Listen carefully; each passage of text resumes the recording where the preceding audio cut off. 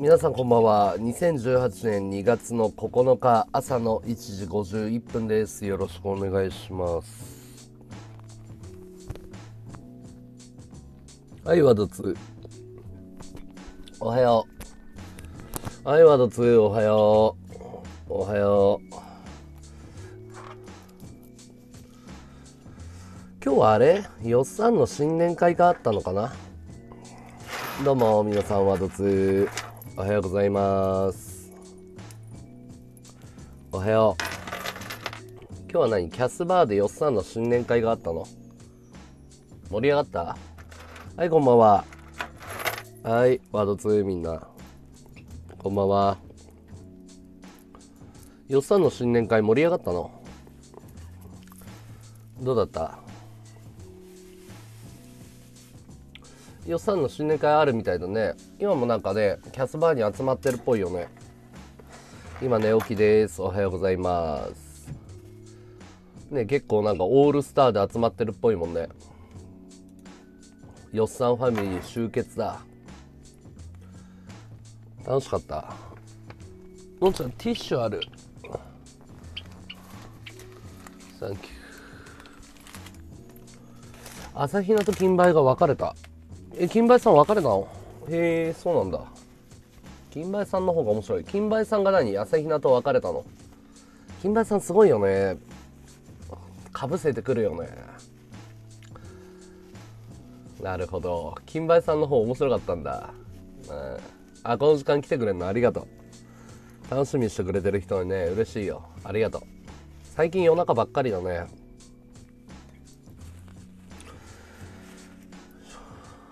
金梅さんさすがだった。あそんなに面白かったんだ。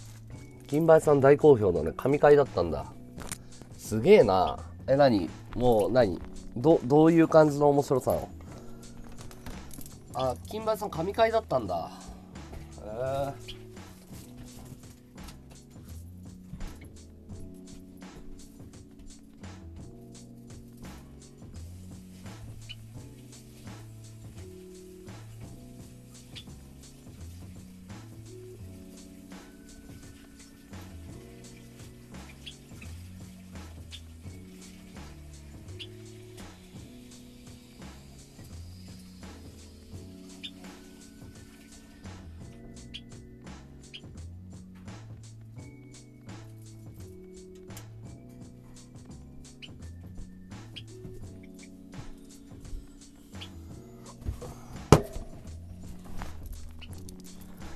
こんだけ豪華メンバー集めて金梅さんの方が面白いってすげえな。見ればよかったな。ワドさん好き。はいはい。ワドさんなんでこんなかそるようになったの？かそってないじゃん。どこがかそってんだよ。かそってないでしょ。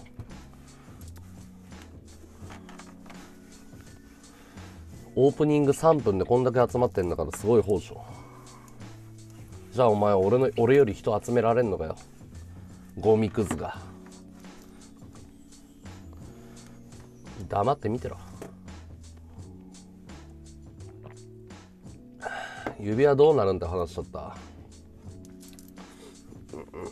知らないよね。Just word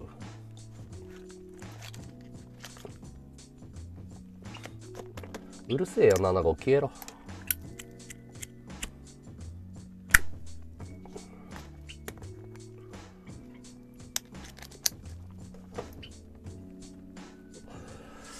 イライラさせんな枠のオープニングからバカが。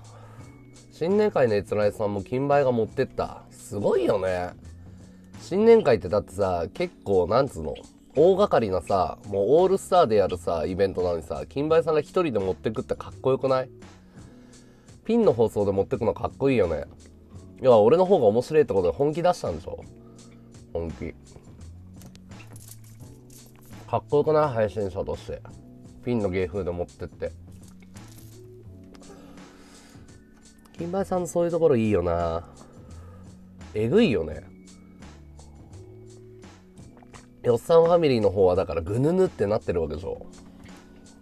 2番2番戦時扱いされたわけでしょ。だから計算して持ってったんだと思うよ。今日本気出そうっていうことで。かっこいいよね。うん。だから右往の衆とかしたんでしょ。いやそうだよ。金梅さんかあの配信のために生きてるよ。全振りだよ。ステータス全振りだから。あそう。今どこいんの？大阪いんの？金梅さん。すごいね。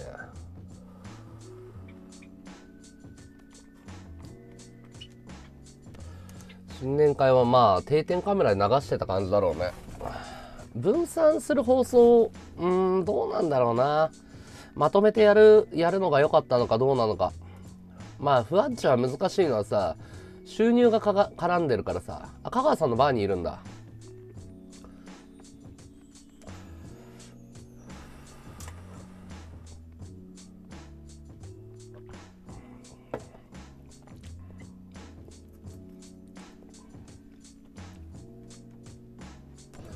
会いに行けばよかったのに。近くに住んでるんだったら。もったいないよ。チャンスなんか1回しか巡ってこないよ。今日キャスバー貸し切りでしょ？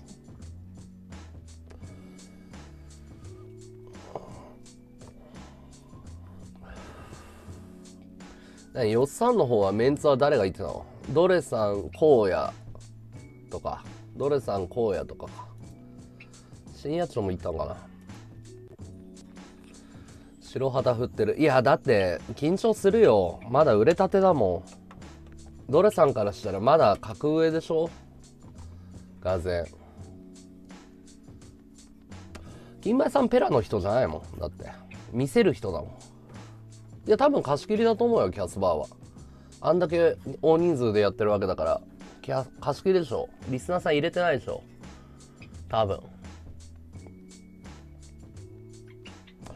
俺の予想入れてないと思う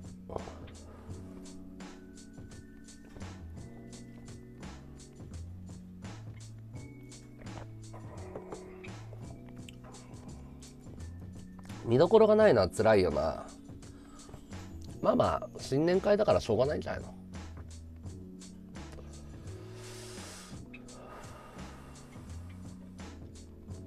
いじれるんだけどねあのドルさんいじられるの嫌いだからまだ本気で仕掛けたこと一回もないね。そうなんだよ。ドルさんってそういうタイプじゃないんだよ。ドルさんあの結構プライド高い方だから。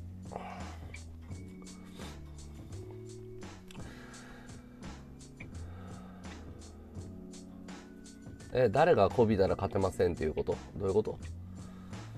いやこびるっつうかそのなんだろうな、うん、難しいよな。誰が言ってんの？こびたら勝てませんって。おはよう13号。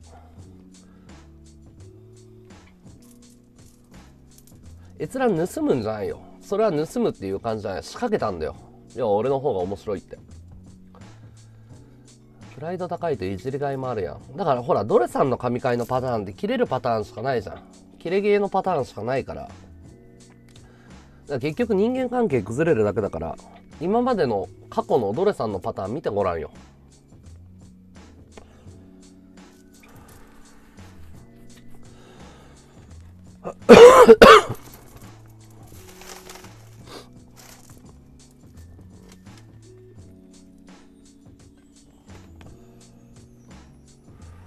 そうそ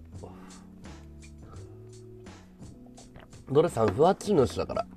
ふわっち系の人はねネタが通用しない、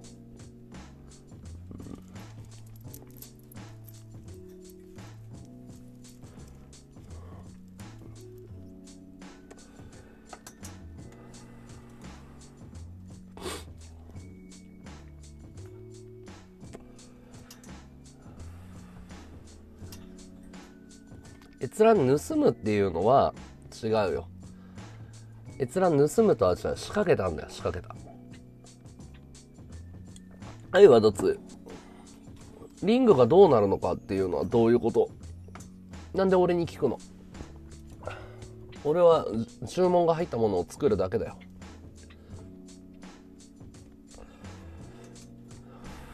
イベントって何のイベント？チョコレートイベント？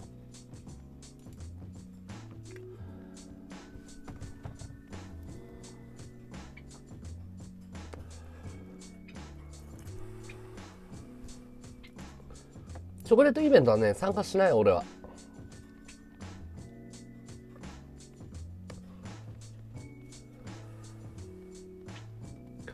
チョコレートイベントはあんまり興味ないね。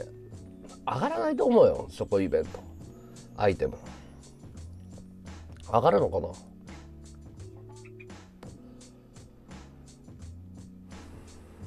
はいワドツおはよう。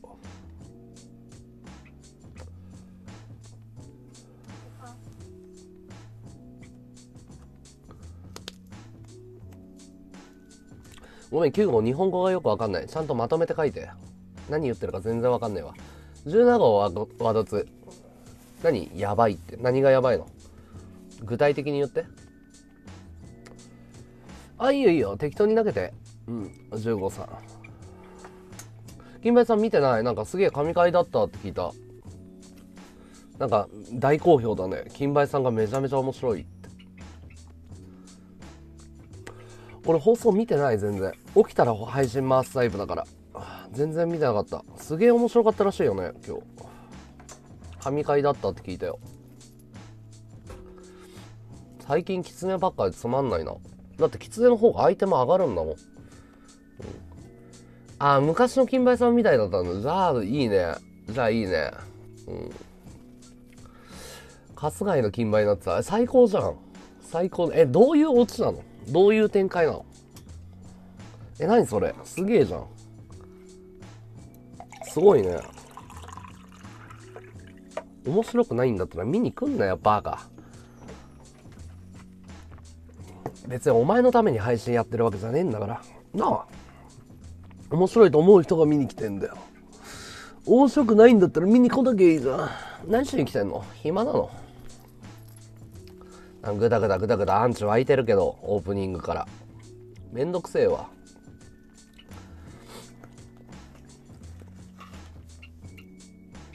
スーパーで透明の袋をかぶって買い物したりしてたんだ。えー、え、なに結局別れる理由は何だったの？決定打は何だったの？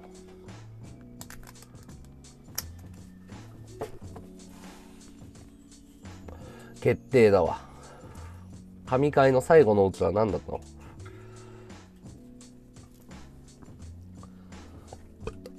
うるせえよ18号。消えろ。ついてくる自信がないんだったら帰れ。別にお前の閲覧なんかいらねえから、ヘッドホンからいや俺の声。あ見た時はもうすべてすべも揉めてた。あそうなんだ。悔しいとかないよ。お前より閲覧集められるから。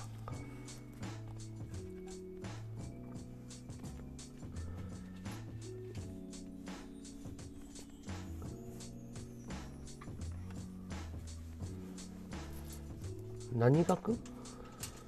ごめん漢字が読めないね。暦？何？何学？うん。鍵返して香川さんのバーでナンパか。なるほど。ブスなのに我慢してたのに侮辱してくる。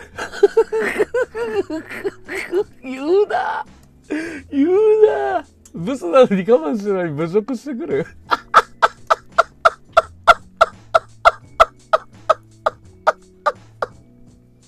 言うなうわキレッキレじゃんキレッキレじゃんああ、なるほど。最後の最後に手のひら手のひら返すパティーンか。それは笑うわ、そんなの。なるほど、なるほど。もう全部吐くって感じだ。まあ、それ面白いわ。朝日奈どんな顔なんだろう。最高だよ、本当に。いや、超面白いよね。それは笑うわ。閲覧のために絡んだのにガチ勢だからお前ダメだ配信向いてないとか言ってた。言っちゃったんだ。とどめ刺したんだ。うん。いやそれは見たいね。手を出さずに帰るからとか言ってた、うん、やば手のひら返し半端じゃないね。うん。速攻出ていったんだ。あじゃあおもちゃにしたっていうオチなんだ。朝比奈どんなリアクションだったんだろう。かわいそう。朝比奈かわいそう。いやそれめちゃめちゃかわいそうだね。ウケるわ。じゃあそんなん笑うわな、うん、ブスのくせに俺にブスとか言ってきやがってとか言って。あの今まで溜まったもんが全部弾けた感じだ。そんなのガチの殴り合いじゃんずるいわそんなの。やられた方地獄でしょ。かわいそう朝比奈。うん。いや面白いねそれは。笑うわな、うん、アイテムは飛ばないけど後で飛ぶパターンでしょそれは。後で飛ぶパターン。うん。そういうもんだよ。だからまた金梅さんが面白いってことでまたしばらくファンが喜ぶから。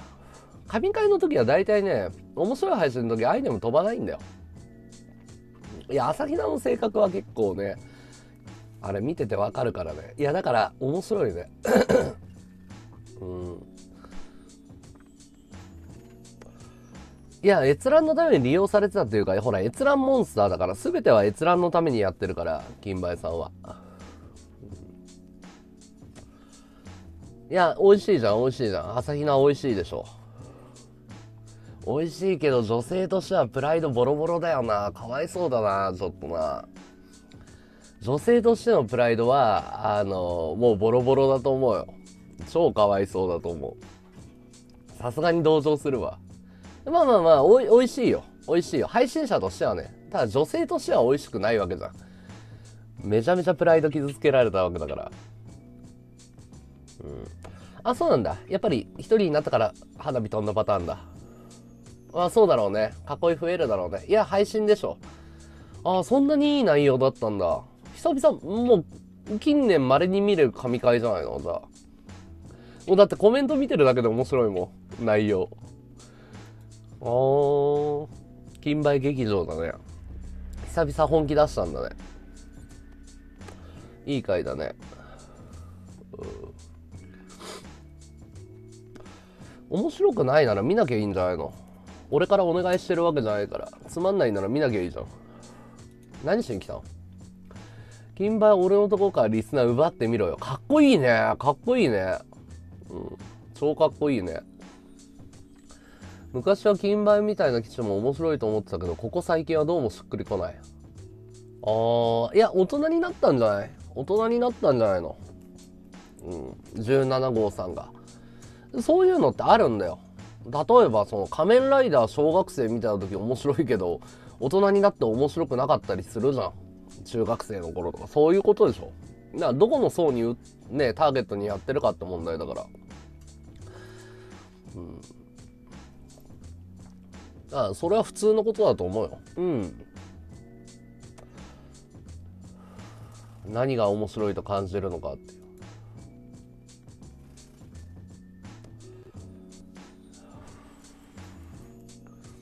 アドセンスはだからアクセス数が多いサイトを保有してたら稼げるでしょ。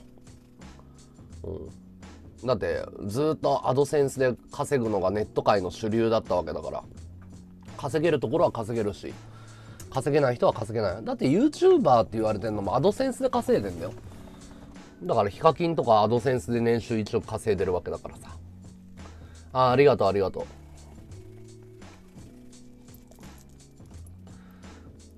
クリックされないと意味ないんじゃなくてね、確率の問題で、えと、10再生あると、10個のページの閲覧があると、大体その1回、大体カウントされるような計算になってんの。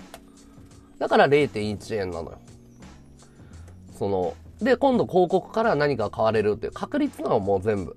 だから、極端な話、母体がでかければでかいほどいいっていう。あとはまあ、そのクリックされるところに広告を常に貼れるかどうかっていう計算が入ってくるんだけど、まあ、簡単に言うと母体がでかければでかいほどクリックされるわけだから。だからね、あの、クリックされないと意味ないんだよねっていうことは、あの、まず母体が低いんだと思うよ。どれの弟子って誰？どれの弟子？どれさんに弟子なんかいないでしょ？うん。誰かいる？どれの弟子ってどれさんファミリーっていうのは形成されてるとは思わないけど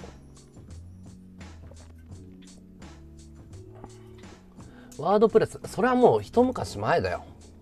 ワードプレスでってそのブログ全盛期の頃でしょ何年前の主流の話よ。今ワードプレスでアドセンスで稼ごうっていう人なんかいないよ。サイト立ち上げももう減ってるわけで、で、なんでかっていうと、そのワードプレスも2つあるんだよ。で、自分でやるワードプレスなのか、その、フリーでやってるワードプレスなのかっていう。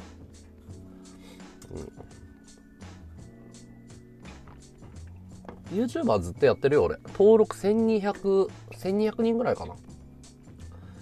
和道の弟子どれが見苦しい？俺の弟子ではないよ、ドルさんは。別に。うんあ、俺の弟子ってこと？ドルさんが？全然そんな感覚ないよ。もうドルさんのこと弟子だなんて思ってないよ。YouTube の収入は3万ぐらいかな。サーバーやドメインを取るかどうか。あ、サーバードメイン取るんだったらちゃんとしたワードプレスの方なんだけど、普通にサイト別にビルダーとかで立ち上げてもいいんだろうけど、サイトでね、今アドセン、なんかよっぽどのアイディアがないと無理だと思うよ。サイトで稼ぐっていうのは。まあまあ、お小遣いにはなってますね。あ、風船ありがとう。アイテムありがとう。俺はほら YouTube だから、あのー、サイトの方のアドセンスはやってないね。広告はね、ルールがあるから、あの、貼れる、なんつうんだろう、貼る数とか決まってるんだよね。じゃないとアドセンス版になるの。うん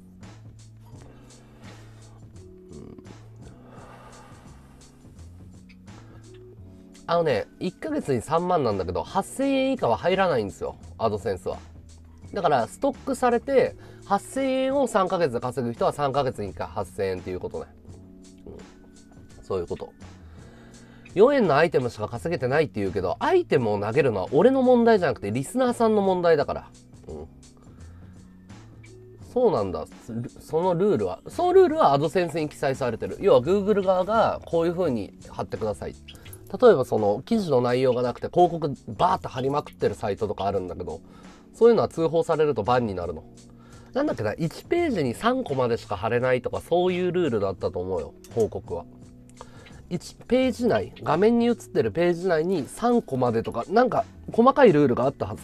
で、広告はその、なんだろう、強制的にクリックされないような仕組みとか、いろいろあるんだよね。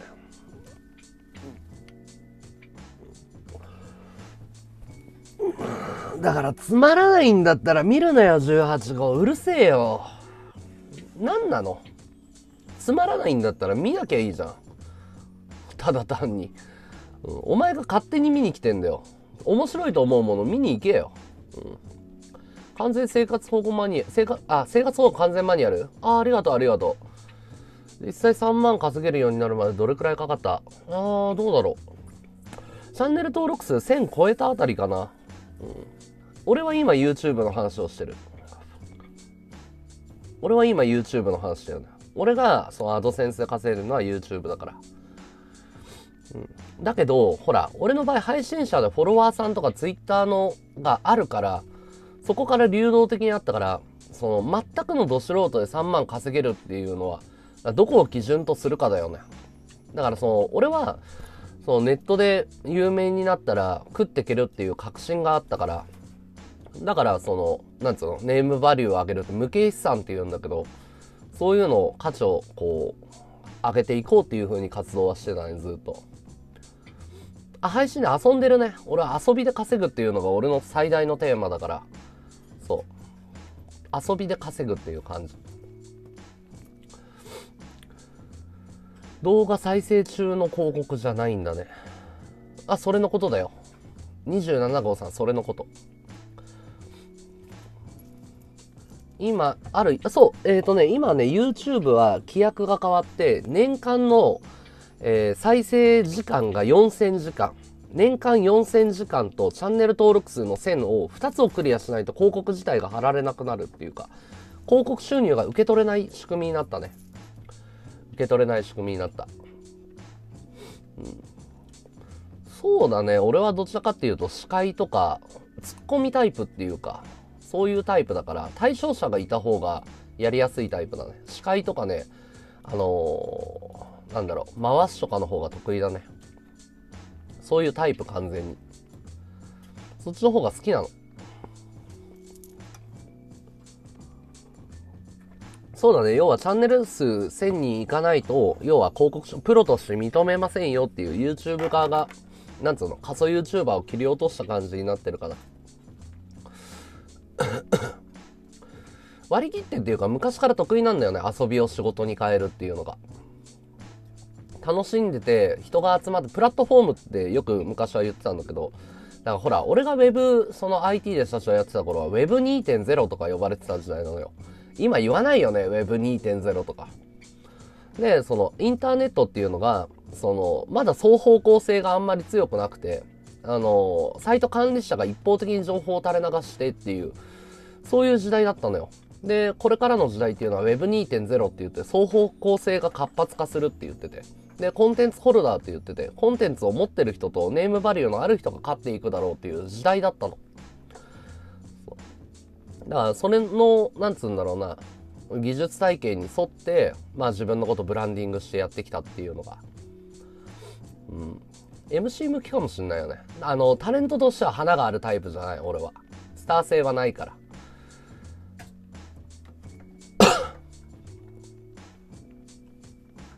後ろめたいところなんかないでしょ別に。自営業って呼ばれてるものは全部そうだから、うん、サラリーマンではないけどああの稼げたら青天井なのとあと時間のコントロールが自分でできるっていうあと場所の制約がないっていうのが魅力だから。だからサラリーマンやってるよりも起きてる時間その働いたり遊んだりするのは好きな方だから。だからその自由に起きてパッと起きて金が勝手に入ってくる仕組みっていうのを作りたかったんだよね。それが俺の考え方。でサイトとか YouTube のいいところっていうのは動画一発ポンって上げちゃうとどうなるのかっていうとあの例えばさ、今話題になってるのが、スピッツの曲っていうのが YouTube の再生数伸びてんの、今。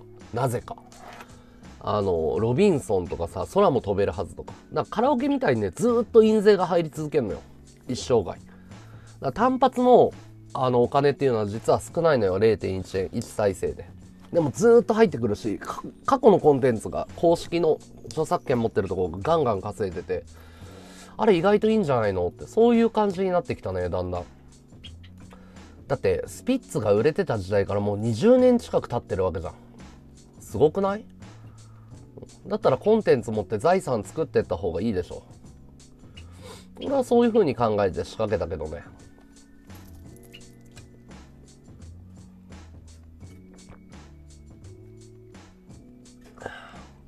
あとそのサラリーマンの場合だと、働けば働くほど会社が成長するんだよ。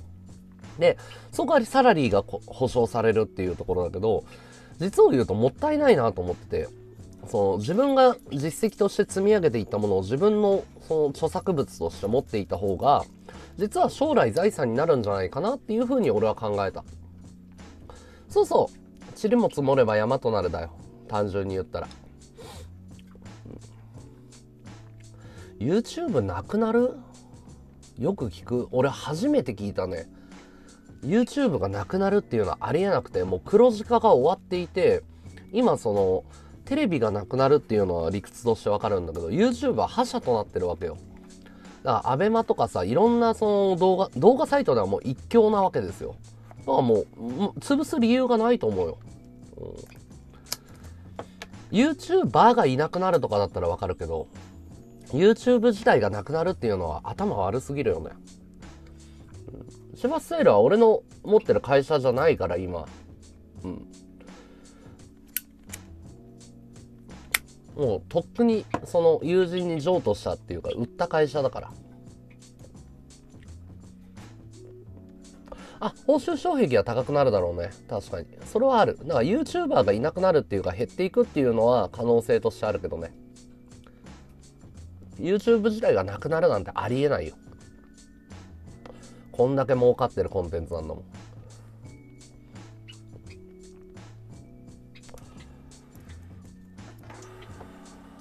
でもまあ、千葉スタイルって言ってさ、その YouTuber、広告収入が取れなかった時代に YouTube で稼いでたっていうのすごくない？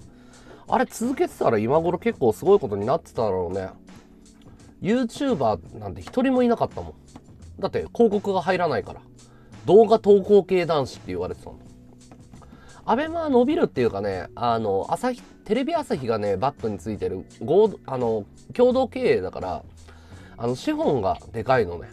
で、テレビ朝日が、その、なんだろう、もうテレビがダメになるっていうことで、サイバーエージェントと手組んでるから、資本力があるっていうのがでかいね。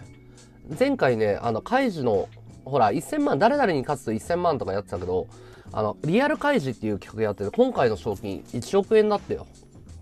だから本気だね。金のばらまき方が。ああ、いや、いや、何がね、受けるか分かんないよ。例えば柴田だって生主として売れなかったから YouTube 行った人だし、ヒカキンも実は、これこれの弟子みたいな感じだったんだよね。これこれの弟子みたいな感じ。だから YouTube に転向してキャラ変してうまくいったパターンだから。はい、ワード2。確か1億円じゃなかった？カイジの。新しい募集してるやつ。前回が1000万だかなんだかで。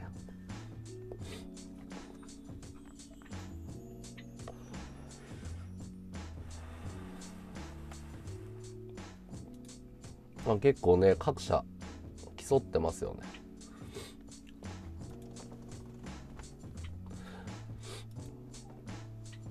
プロタンって今で言うアムチンみたいなポジションだったよね、若い頃ね。ふわっちで言うとこアムチンみたいなポジションじゃなかった。あ、い要は賢いんだと思うよ、プロタンは。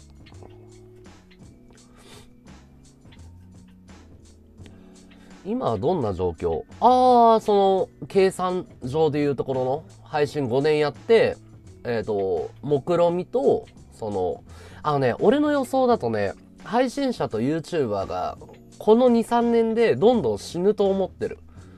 今実は配信、今一番盛り上がってるところなんだけど、実はね、芸能界の人たちが結構その、ふわっちとか YouTube とかにかなり注目をしていて、あの、テレビ局の人間とタッグを組んでやってるんですよ。で、ネームバリューはすごい高いんだけど、あの、テレビで仕事を取れなくなった有名人って結構いるんだよ。で、その人たちがどんどん参入してくるような予感がしてるから、俺はなんか、その、配信者も減っていくんじゃないかなっていうのが、あの、俺の読みかな。ここ2、3年でいきなり動くと思う。うん。申し訳ないが寝るために聞かせてもらっています。ああ、いや、全然嬉しいよ。閲覧ね、貢献してくれるから。ありがとう。まあ、たまにはね、アイテム投げてくれると嬉しいけど。そうやっぱタダで見られちゃうとね生活厳しいから。ではなく今の和道俺の和道いや俺は飯食えてるからまあ俺の場合だとその3年間で飯を食えるところまで持っていくっていうのが目標だったんだけど結局4年目3年半目から食えるようになったの。だ半年結構きつかったの。でもまあ今食えてるから目標はそういう意味では達成できてる一応その配信だけで生活できるようにはなったわけじゃん。で、俺は半年遅れちゃったんだけど、まあまあ、まあ半年のラグはあったとしても計算通りかなとは思ってるけど。うん。まあこんなもんなんじゃないの？わかんないけど。ベンチャーの部長ぐらいって言ったら、例えばよくわかんなかった、60万ぐらいって意味だね。うん。メガホンさんがありがとう。アイテムありがとう。まあでもいつダメになるか分かんない商売だからギリギリだけどね。よく言ってるけど、背水の陣とか、えっ、ー、と、 burn the bridge behind you。アイテムなれ、投げたら誰だか分かっちゃうとかいう問題じゃなくて、その、俺が飯が食えなかったら、このコンテンツ自体が維持できないから、そう。だから誰だか分かってもいいからアイテム投げてもらいたいよ。少しでいいから。うん、少しでいいからアイテム投げてもらいたいですよ。だってあなたがその安眠ねいつもタダで聞いてくれてるって言ってるけどさ俺食ってかないとこの放送維持できないんだもん、誰だか分かる分かんないって別に、いいじゃん。お金払ってるスポンサーなんだから堂々として。閲覧数は全く関係ない。アイテムが飛んでるかどうか。まあ、だからまあ飯が食えるようになったっていうのとそれが1年ぐらい経ったから今度はそれを規模をどれだけでかくするのかっていう話になってくるから。まあなんか隙間を縫っていかないといけないよね。独自のコンテンツを作っていかないのといけないのとまあこの放送を守りたいと思ってくれてる人がどれだけいるのかっていう勝負だから。簡単に言うと俺の収入っていうのは俺が選べないんですよ。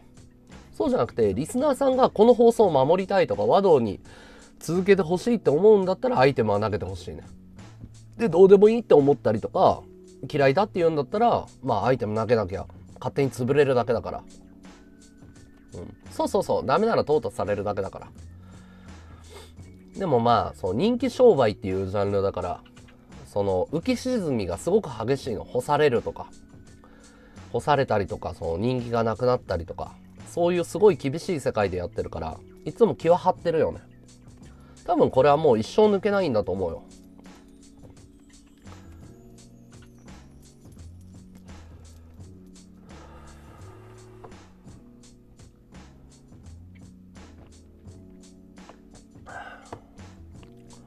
民放はお金払ってないけど面白いものある。民放は時間を買ってるから。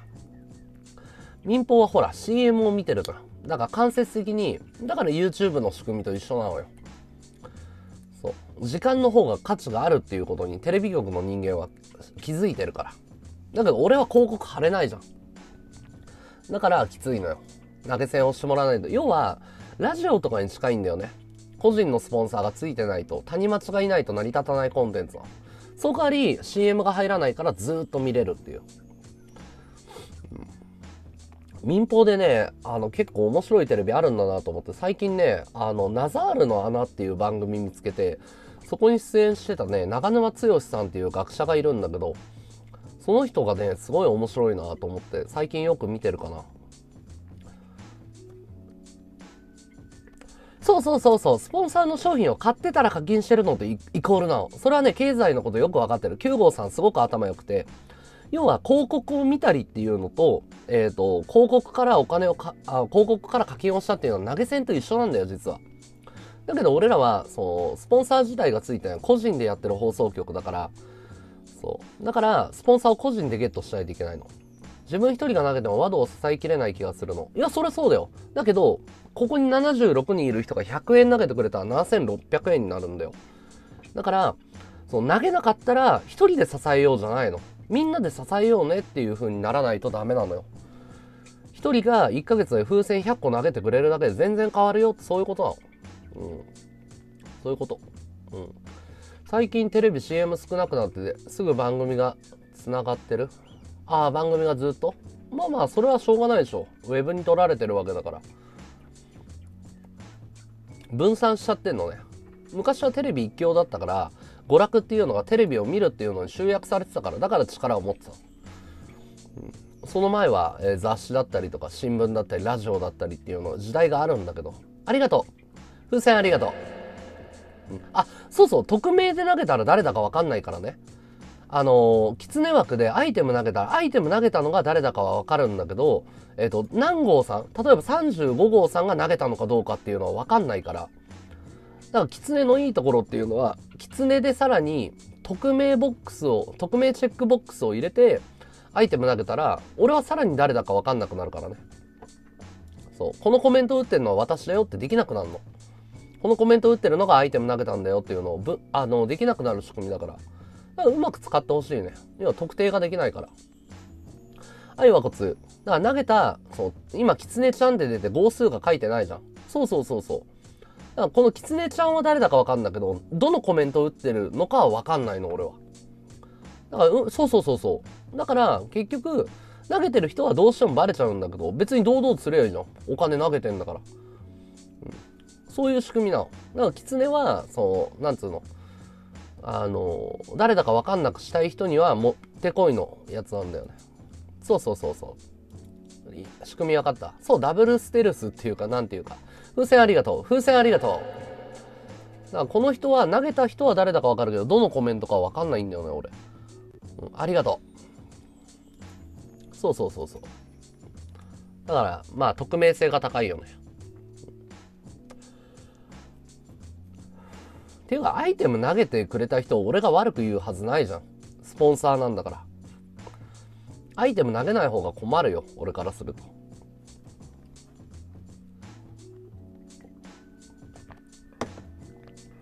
だって別にそんな有名な人じゃないでしょわかんないけど。立場がある人じゃないでしょでもあれだよ。大手生主とか結構投げてくれてんだよ、俺に。あのね、実を言うとね、これ、あれかもしんないんだけど、俺にアイテム花火投げてくれる人って生主なんだよ、結構。結構な割合で多いの。だから特殊なの。実を言うとね、俺ね、あの、クロート好みされるタイプで、あの、同業から、あの、投げてもらうこと結構多いのよ。だだから、その、匿名で投げられることがすごく多いの。珍しいでしょ。同業から好かれるの、俺。だからみんながね、多分匿名で投げなかったらびっくりすると思うよ。こいつが和道に投げてんのみたいな。配信者同士の助け合いっていう感じじゃないの。なんでかっていうと、俺その人の閲覧見ないから。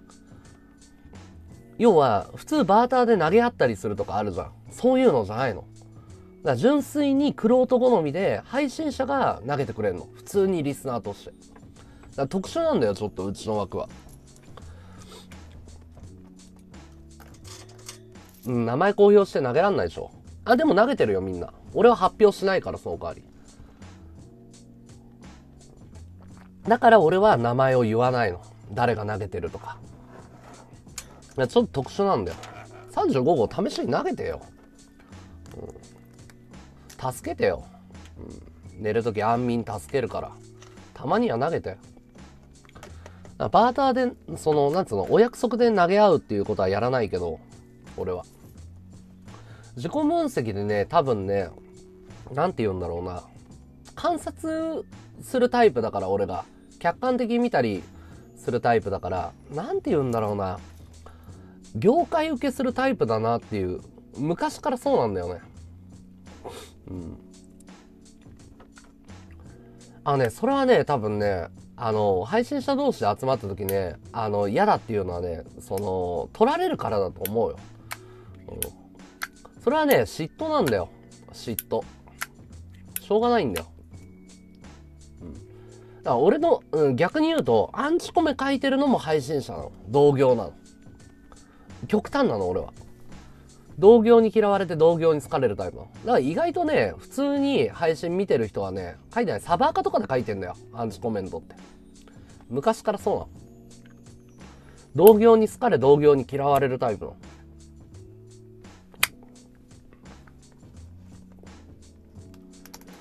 ありがとう。41号さんありがとう。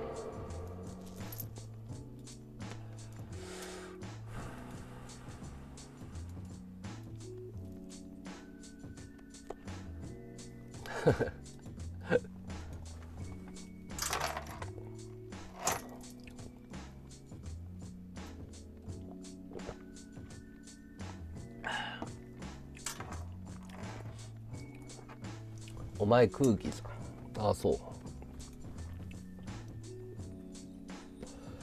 どっちでもいいです別に。空気だろうが何だろうが。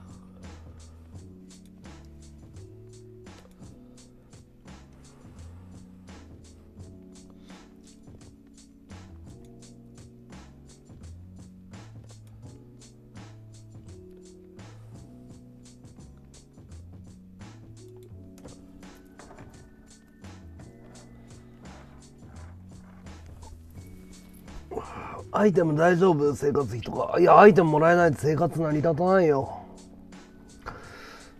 厳しいよ。でも自分で選んだ道だからしょうがないよ。しょうがないでしょ。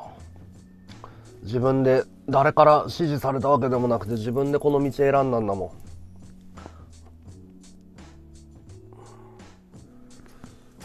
花火のほとんどが飲んじゃうんですか？違うよ。さっき説明したじゃん。むしろ特定の一人がバーって投げるっていうことはほとんどない枠だねここは。だから花火師さんって言っても投げてくれる人はねほんと一人とかだよ。大きいの。分散してる感じ。食振りは俺は断ってる。食振りはあのお互いリスナーとして配信者として絶対関係崩れるからやめましょうって断ってるね俺は。あの、見返り求められるから、必ず。もう経験上分かってんの。だから俺は、そのアイテム経由するか、ステッカー買ってもらってる。ステッカー買ってくださいって。うん。どんちゃん匿名投げてないね。うん。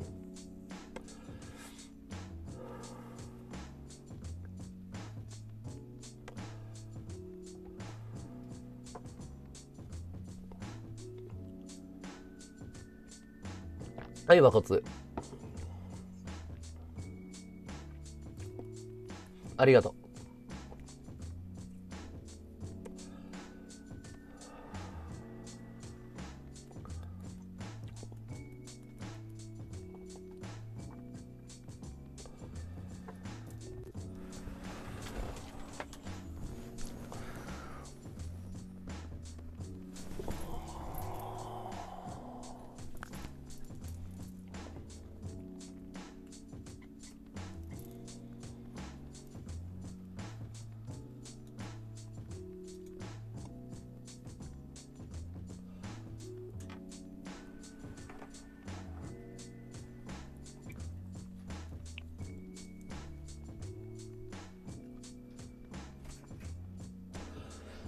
啓発のセミナーを主催してたね俺は。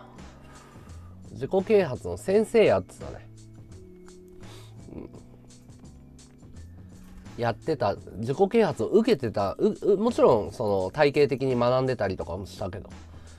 セミナーの講師側やってたから。うん。だからまあテクニックはいくつか持ってますよ僕は。いや自己啓発が何なのかっていう話で日本人って結構誤解してる部分がすごく多いのね。要は知らないから批判をするっていう部分が多くて。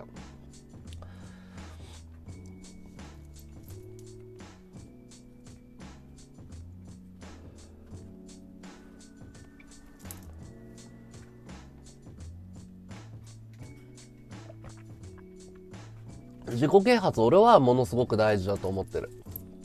で人生が変わるね実際。実際変わるでしょ食振りはないですよ。ないですよ。え前回あったのは捨て頃の時にえっ、ー、と10万円もらってこれでグローブとか機材全部揃えてっていう風に言われたね。それ以降ないよ。だって俺の口座番号とか知らないでしょ、うん。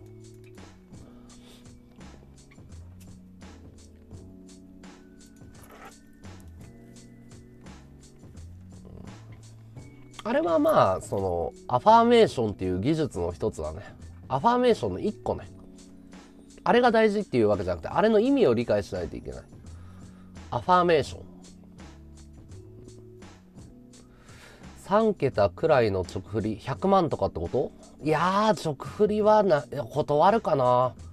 直振りはないと思うよ。今までないもん直振りは。ないないないない。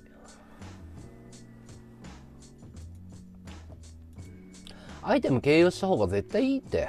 リスナーさんも見やすいし、投げやすいし。だからニコ生うまくいかなかったわけじゃん。うん。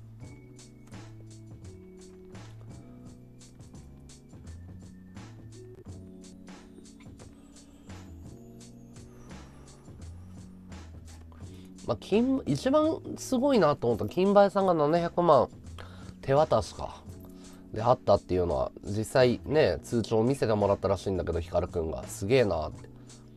金梅さんクラスで700万だからね。金なくなったら連絡ちょうだいって。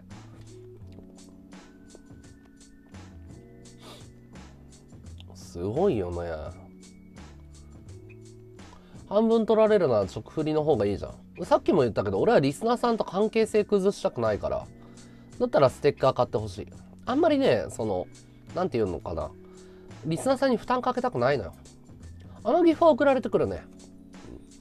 メガホンありがとう。あのあのギフはあるある。いまだにほら、ほら、捨て頃頑張れよって言って、こう、グローブとかいただいたりとか。こういうのがあるね。あるある。見返りはね、必ず求められちゃうから、人間の心理だから。700万現玉すごいよね。お金に勝るものいやいやいや楽しんだ方がいいじゃんお金で楽しみは買えないから普通に楽しかったらいいんじゃない？返してくれって必ず言われるよね揉めたら。だから俺は嫌だ、うん、直振り嫌だね。だって絶対さ直振りしたらみんなも冷静に考えてとある配信者に直振りするって下心があるからでしょ。だからその自分の都合が良くなかった時にさなんでこんなひどい手術したのって言うでしょ？返してよって言いたくなるでしょ？でも配信者からするとさやっぱり受け取ったらダメなんだよ、うん、返せって言われた時絶対返せないもん。花火師の人はラジコンにしない必ず。ラジコンの花火師はいない。花火投げる人はもう心とその資金に余裕のある人だから。から見返り求められたこと一回もない。花火師さんで。花火投げててって。いや放送の対価だからって言ってくれる。必ず。面白かったから投げてるだけだよって。頑張ってって。もっと面白いことやったらもっと投げるよって言ってくれるね。ラジコンに欲しいっていうタイプはうちの放送にはいないね、うん、うちにはいない。そうそうそうそう。心に余裕がないとアイテム投げらんないから、うん、バーガーありがとう。花火師はねだからそう成功してる人じゃないと投げらんないよ。その例えばお金にゆとりがあるとか心にゆとりがある人じゃないと絶対投げない、うん、いやチップの感覚で投げてるから。じゃないと無理でしょ生活カツカツで人のこと助けようっていうのは無理だから。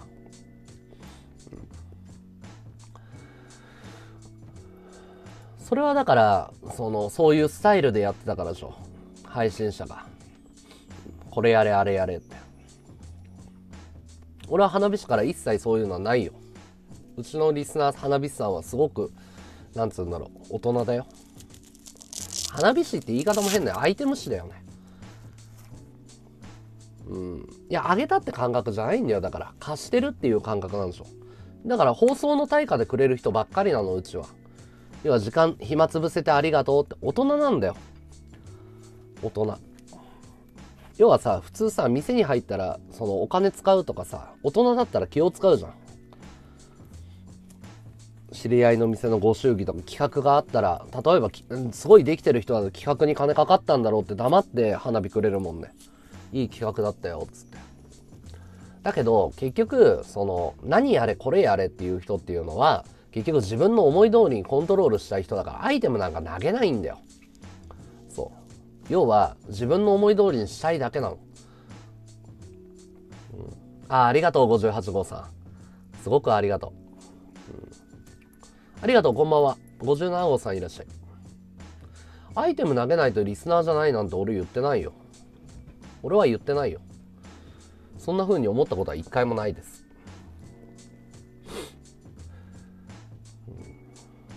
お金の貸し借りはまあダメだよね。帰ってこないよ、能力がないから借りないといけないわけだから。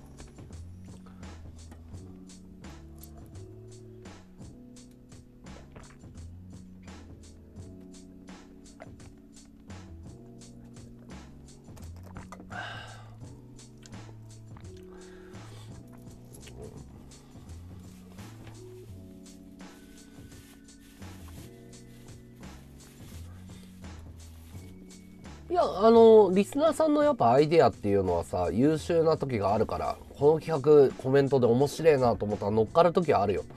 別にね、あのね、俺はね、こういうことなのよ。ラジコンになれ、花火投げたらラジコンになれっていうのは、まず間違ってるの。本当に面白いのだったら、無料でコメントで書いてくれたら採用するに決まってるじゃん。そう思わない？俺はそういうタイプなの。花火を投げるからこれに乗っかるっていうのは、なんつうんだろう、お金のためにやっちゃうからバイトした方がいいって考え方の。そうじゃなくて無料でも、この企画面白くないワードって言ってくれたら、普通に面白かったら採用してるんだよ、今まで。うん。はい、俺は喉乾くタイプだね。俺はもう2リッター、3リッター飲むタイプ。だからドレさんが不思議なんだよね。飲み物全然飲まないから、喉乾かないのかなみたいな。ドレさんがね、異常にずっと喋ってトイレも行かないからね。あれおかしいよね。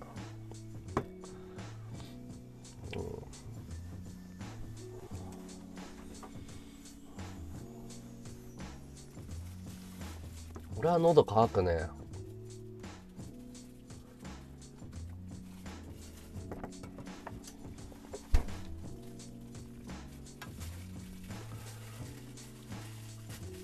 おかしいでしょ？9号さん。好きなアーティストのライブに行ってチケット買ったんだから俺の言うこと聞けって言わないでしょ。そう。だからその要はねアイテムやるからこれをやれっていう人は長続きしないし本当のファンじゃないってことなんだよ。要はその人が表現してることが気に食わないって言ってんのって道義だからさ年寄りは代謝が悪い、うん、年寄りは代謝が悪いんだ説得力がないように感じるのは君が俺のことをどう見てるのかだよ。君が俺のことをどう見てるのか。俺の問題じゃなくて君の問題。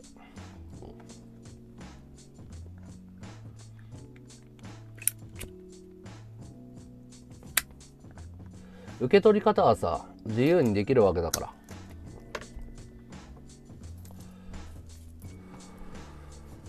まあ本当のファンじゃないよね。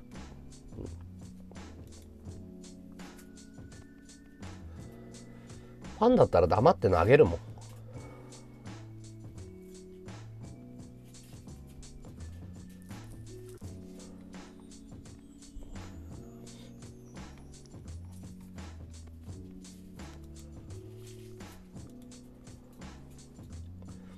まあまあ、食えるか食えないかなんて分かんない世界だからダメになったらね、そのまま死んでくんだからそれでいいよ。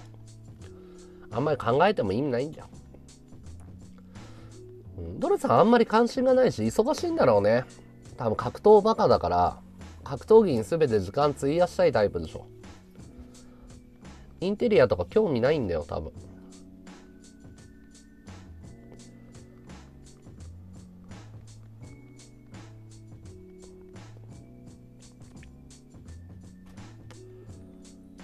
和道の飲み物飲まずにどこまで配信できるか耐久です。俺は飲み物ないと配信できないから。ていうか5分でカラカラになるタイプ。5分でカラッカラになる。俺がやりたいのはあれがやりたいんだよね。あの、キキ、キキマヨネーズとかさ、キキわさびとかさ、あるじゃん。あの、ガキツカの企画やりたいんだよね、あれ。あれ面白そうだなと思ってんだよね。のんちゃんと何回か話して。肉まん対決とかさ。この一口に命をかけろってやってるじゃん。あれすごい好きだから。あれやってみたいなとか思う。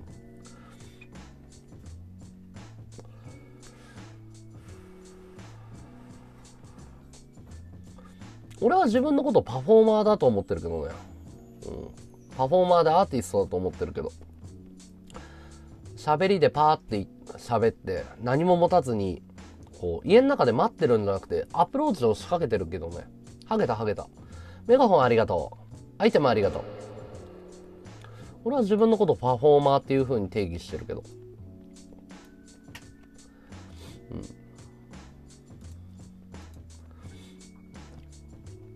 コンビニのコーヒー買って飲む。最近やめたね。もう家で作るようにした。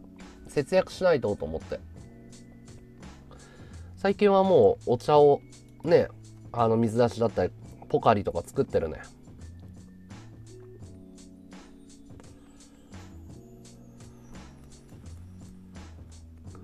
お金なくなったんじゃなくて、その収入が減ってるからね。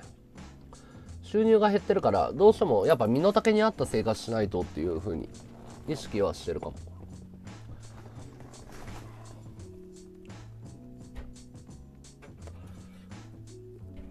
だって、ガキ使の企画なんかあれ何年前よ。俺が子供の頃からやってるよ。俺めちゃめちゃテレビっ子だったもん。俺テレビ大好きだったんだよ。いやいや、強制的に身の丈に合った生活しないダメでしょ。うん、身の丈超える生活してたらだって破産しちゃうもん。偉いとかじゃなくて強制的だよそこは。あご飯作ってくれてんの？偉いとか偉くないとかじゃなく食ってくために生きてくためにしょうがないよ。必死になって生きていかないと。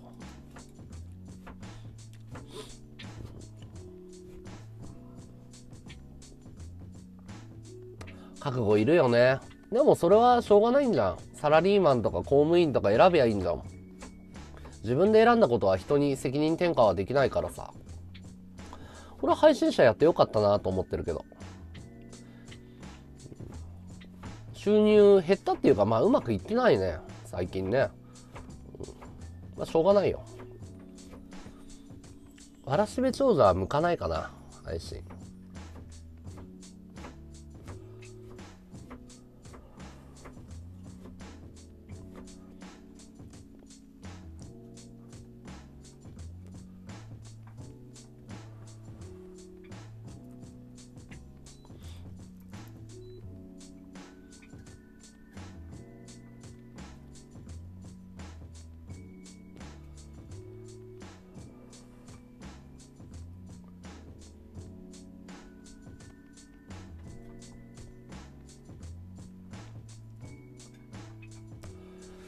なんか協力できることある。見てくれてる時点で協力だよ。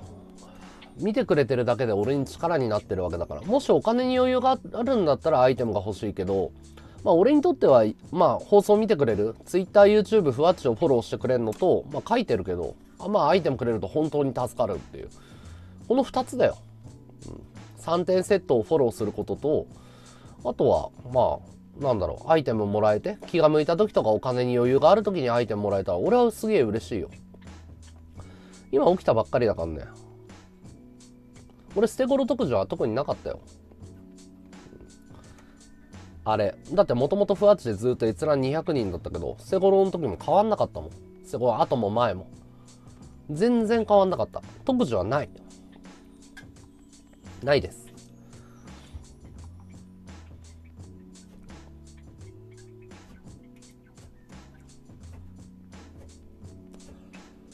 ああ、ありがとう、ありがとう。余裕できた時で全然いいよ。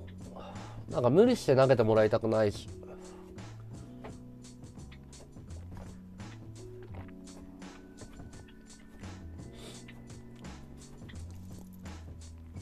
こんばんは。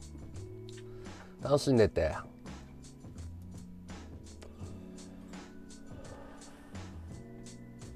いや、もともと、なんだろう。ネームバリューは振り切ってたから、特殊があるっていうことはさ、ネームバリューがもともとない人が急に売れるっていう場所だと思ってて、俺の役割はそこじゃないじゃん。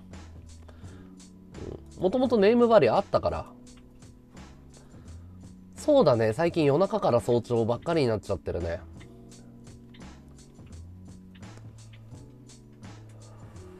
いやいやいや、61号さん、俺データで全部何月にいくら稼いだか全部データ取ってんのよ。だから本当に、あの、なんつうの、言い訳をしてないよ。アイテム飛んでないし、変わってないの。正直言うと。ゆっくり目減りしてってるだけ。何が欲しい？えっ、ー、と、物っすか？物？物で必要なもの、今のところ配信機材はないかな。物はないから本当にアイテムが欲しいかな。ステッカー買ってもらいたい。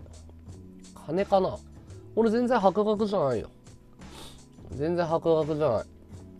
むしろあの基礎教養がないから一般人より学歴ないと思うよ。教養ないっすよ僕。CC1 箱ぐらいかな。天城府はまあ必要なものたまにもらったりするけど、うん、あありがとう。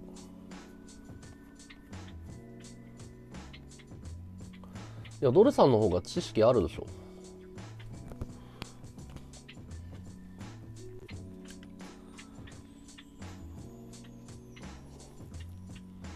あ、ギフト券はもらってないよ、ちなみに。甘ギフって、あの、本当プレゼントはもらってるけど。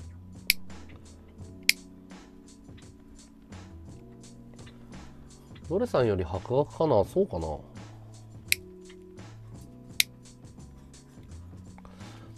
知識のストックは俺ドルさんの方があると思うけどな。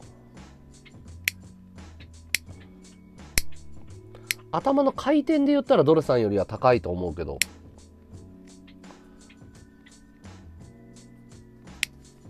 頭の回転はドルさんよりはいいと思うのね。だけど情報量で言ったらドルさんの方が持ってると思うけど。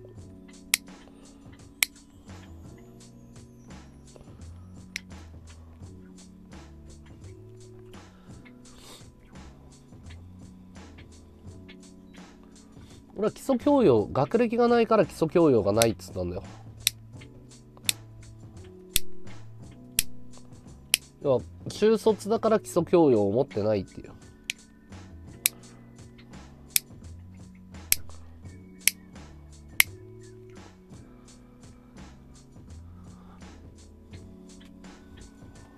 ドルさんはね俺の放送かなり引用してるからね。うちのリスナーだからねドルさんは。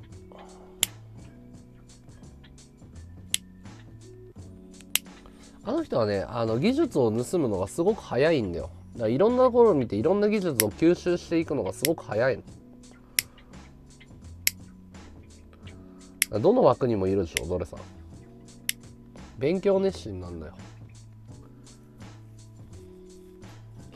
もともと回ってなかったよ。もともと回ってなかった。そうでしょ。54歳でストライカーやってんだから。脳にダメージが半端じゃないでしょ。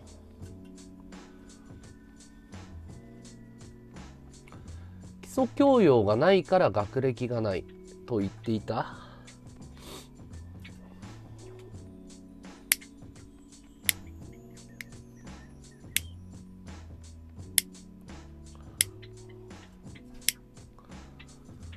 ステッカーは口座に振り込んでそうだね。LINE か DM 大体連絡に来てステッカーくださいって言われて。であ3種類あるんですけどどれ何枚ですかって聞いて。でここの口座に振り込んでもらったらあの入金確認振り込んだら教えてくださいって。で僕が入金確認取れたら今度ステッカーすぐに発送するんで後でご連絡しますって。で届いたらまあ大体いつもなんかありがとう届いたよみたいな。応援してるよみたいな。そんな流れかな。まあ LINE かあの DM 来たらお返事するっていうのがいつも流れ。そうだね。興味ある。だから伊集院光とかそういうタイプだよね。中卒であのなんか「へえ」っていう話を集めるタイプだね。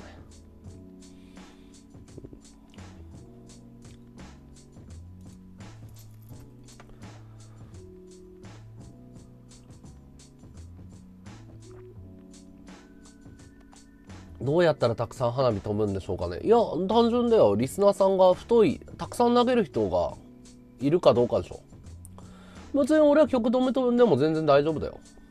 俺は全然大丈夫。ただ届かないって言われても責任持ってないけどね。でも別にみんな気にしてないよ、普通になんか住所に書いてくれて。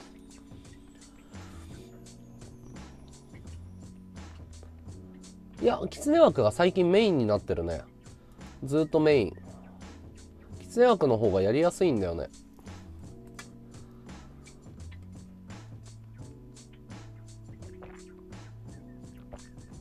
配信業はまあできるだけ続けたいとは思ってるけど。一生涯やりたいね。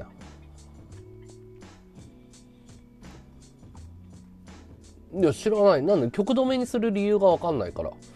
いやそれは別にリスナーさんが選べばいいことだから。別にだって自分の住所に送った方が早くない、別に俺は曲止めでも構わないけど。みんな普通に書いてるよ。狐で10万稼いだんだっけいや稼いでないよ。普通普通。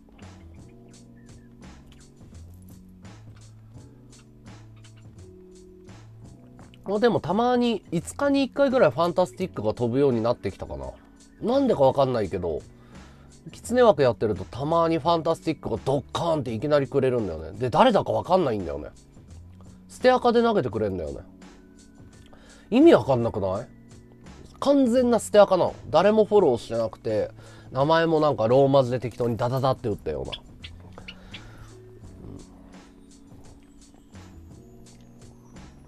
不思議だよな。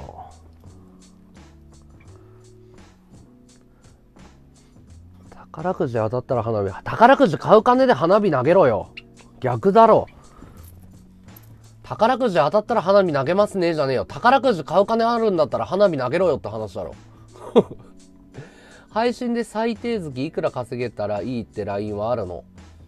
やっぱり20万ぐらい稼げたら嬉しいよね。うん、25万稼げたらもう俺は正直嬉しいかな。あのー、今18万とかそれくらいだからギリギリなのよ。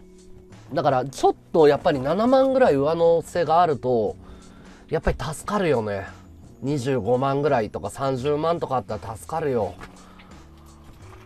それみんなもそうでしょ。く大体東京で一人暮らしで生きてくの18万ぐらいかかっちゃうから。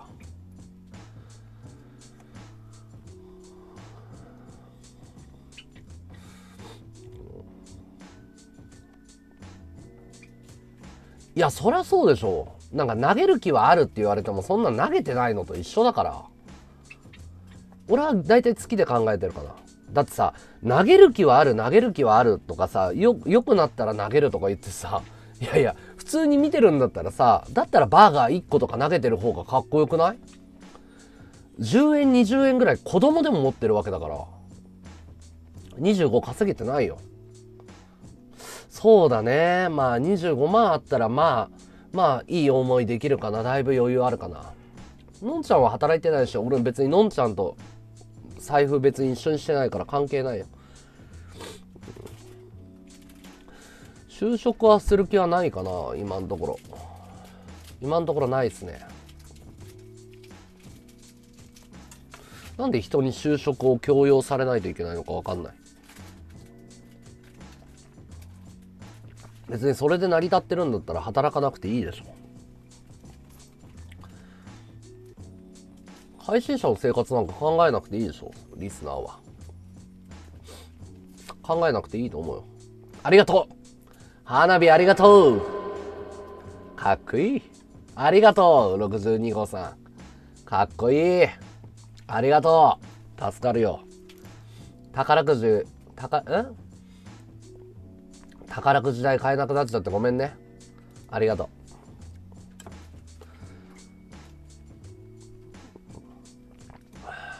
かっこいいと思う問題じゃない。コンテンツに満足してるかどうかで対価を払わせたいと思う配信者への根本原因。何を言ってんのか全然よくわかんないんだけど。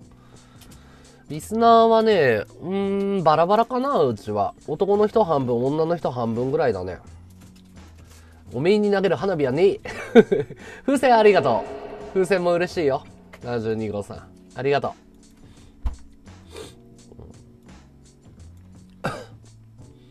ありがとう。ワドロといやいや、賭博でしょ、それ。賭博法で捕まるでしょ、ワドロとは。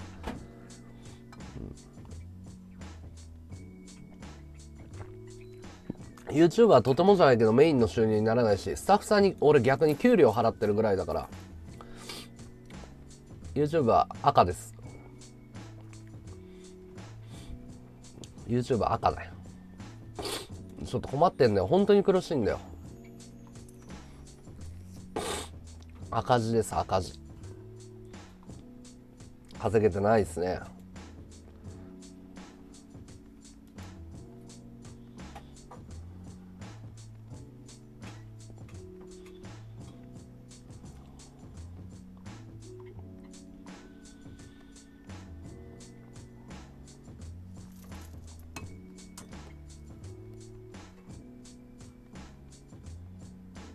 ポカリスエットだよこれ。ポカリ。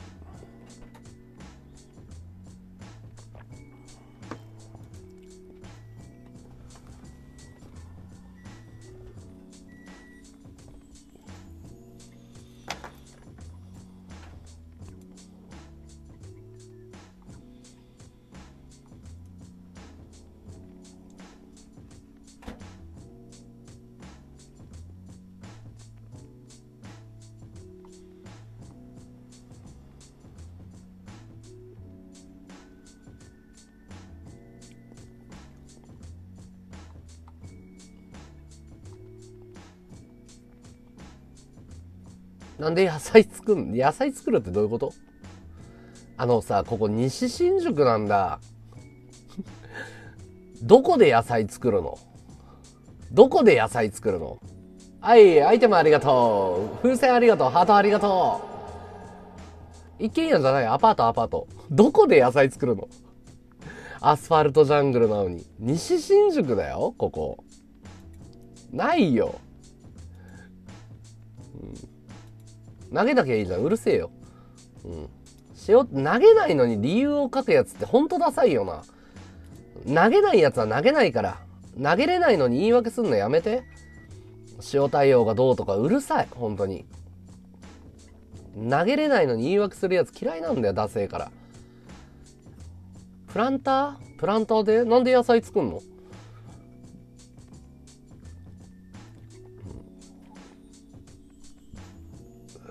板橋区にいたんだ。西新宿はまあ便利だけどまず菜園なんてやってる人いないよね。ペットボトルで作れるんだ。えー、美味しくないでしょ。野菜買った方が絶対安いと思うよ。いやいやいや花火じゃなくてごめんなんてそんなアイテム全然嬉しいっすよ。いや別にプチトマト食べたくない。別に買えばいいじゃん。買えばいいじゃん。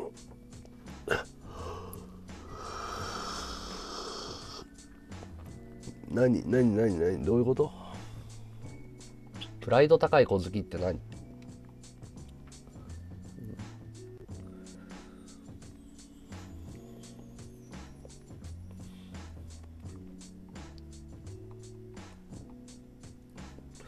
ハドブランドの野菜を売るの誰も買わないでしょ。誰も買わないよ。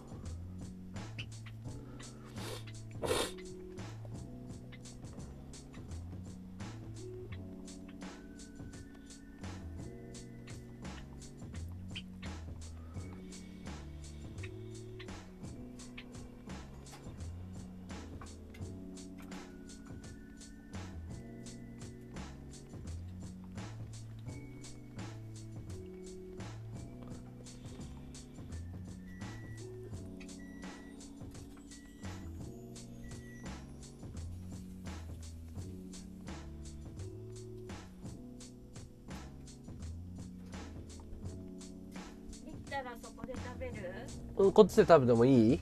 うんありがとう。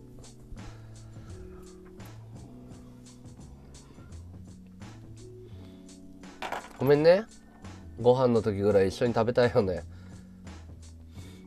スーパーにある成果の写真付き野菜売ってるけどあの写真で笑顔の和道があったら爆笑しながら買う。ステッカー何枚くらいだろう？まだ捨て頃ステッカー160枚ぐらい余ってるかなこれは。だから40枚ぐらい買ってもらえた、うん、40枚ぐらい買ってもらえたね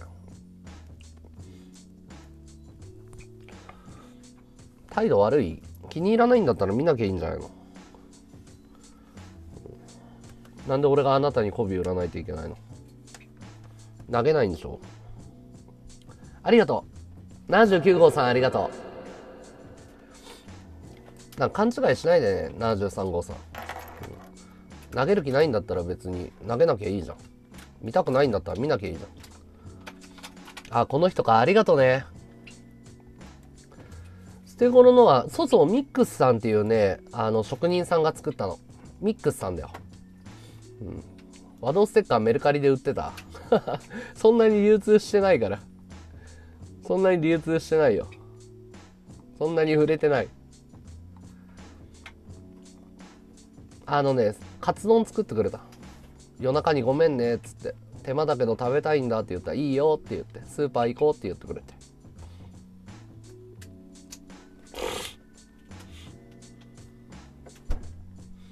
ありがとう。でも投げないのに理由は書かないで。イライラするだけだから。投げたい時に投げればいいじゃん。投げたいのに理由書かれても俺からするとイラッとするだけだからさ。だからまあ、投げない、投げ、別に投げるの強要することなんかできないんだから、態度が気に入らねえっつったらさ、関係悪くなるだけでしょ。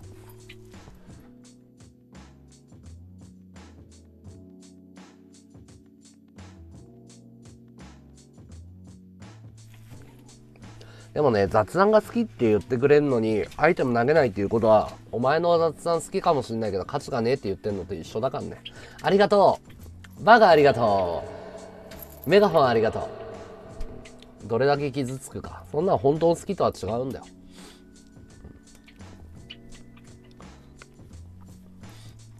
今日は女性がたくさん投げてくれるね。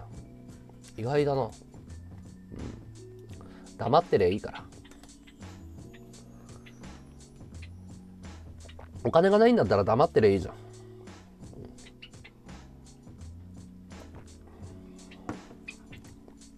ねお金がなくて投げれない理由なが本当の理由なのにお前の態度がムカつくムカつくから投げねえわって。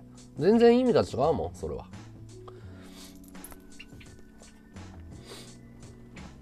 黙ってついてこいよ。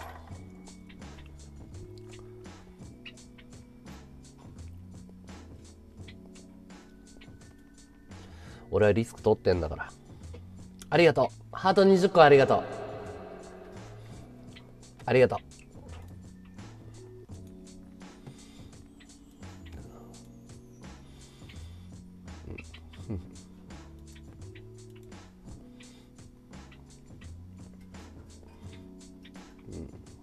いやそうでしょ。ぐだぐだ言い訳なんかいらないでしょ。どういう分野が得意なの？えっとどういう分野、えー、雑談のジャンルってこと？まあ見てたらわかるんじゃない、うん、今日はねのんちゃん活動的。のんちゃん背中流してくれた。のんちゃんって体洗ってって言ったらね背中流してくれた。人に背中洗ってもらうと嬉しいよね。死体の性癖衝撃的だった。ネフェルネネネクロフィリアかな。バカありがとう、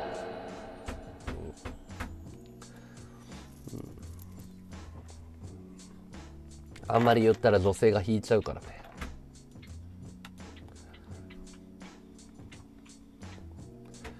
金稼いでる時はリスナーを貧乏人と罵り落ち目になると金くれくれ。だから人間的に腐ってると思われてんだよ。人間的に腐ってるよ俺は。何が悪いの？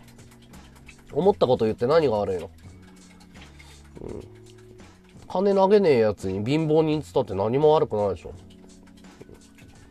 貧乏人のひがみだろ51号、うん、別にだって俺からしたらアイテム投げねえやつなんか相手にする必要ねえんだからさ。でしょ？そう思わない？アイテム投げないやつなんか俺からしたらその辺に落ちてるゴミと一緒なんだから。応援する気がねえんだから。相手にするわけねえだろ。体洗うの嫌だって言ってたんだけどね。性別関係なくは引くかな。えでも本当に俺思うけどな。年齢性別国籍全然関係ないと思うよ恋愛は。年齢も国籍も性別も何もかも、うん、のんちゃんのどこに惚れたの？うんとねのりこはね俺よりも頭がいいんだよ。だけど俺よりもね子供みたいな感性を持っててすごく感動するんだよね。だだからね簡単に言うとね俺が47歳の時にこんな心でいられるのかなって思ったらなんかすげえなと思って。そういうところは好きだね、うん、そういうところかな。なんかこ、うん、尊敬っていうかリスペクトがあるね。リスペクトが。すごいなって。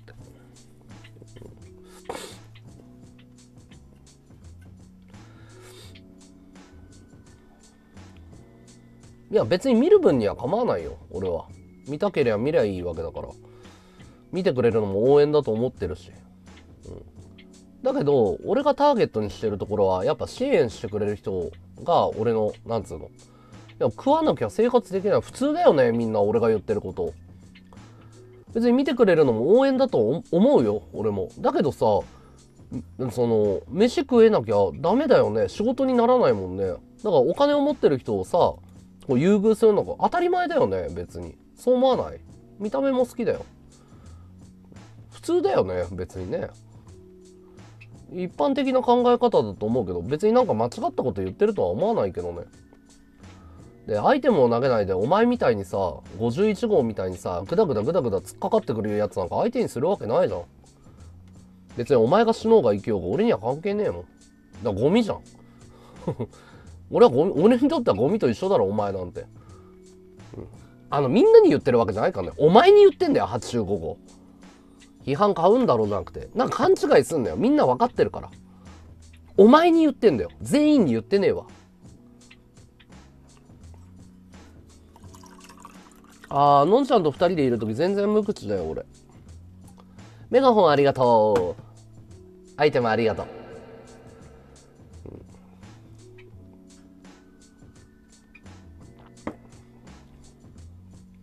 当たり前じゃんそんな。相手にするわけねえだろパーが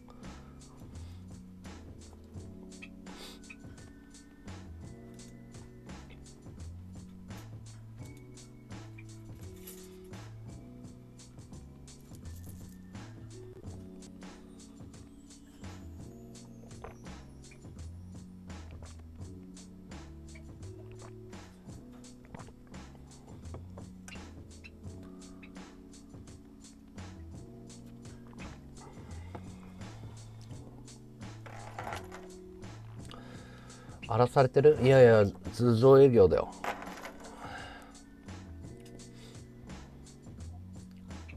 アイテム投げないリスナーゴミじゃないよねアイテム投げなくてアンチコメント書いてるやつはゴミね。訂正して。アイテム投げないでアンチコメント書いてるやつがゴミなの。訂正してください。俺はそんなこと言ってねえわ。要はお前みたいなやつがゴミだっつってんの、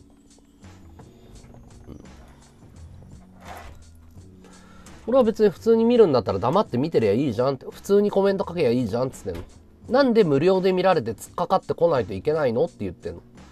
なんでアイテム投げる気のないやつにね神対応しないといけないのって言ってんの俺は。言ってる意味わかる？別に普通に見ればいいじゃん。普通に会話すればいいじゃんって言ってんの。アイテムを投げなくてさらにああだこうだクレームつけてるやつを相手にするわけねえだろって。塩対応するに決まってるだろっつってんの。そう。そいつがゴミだっつってんの。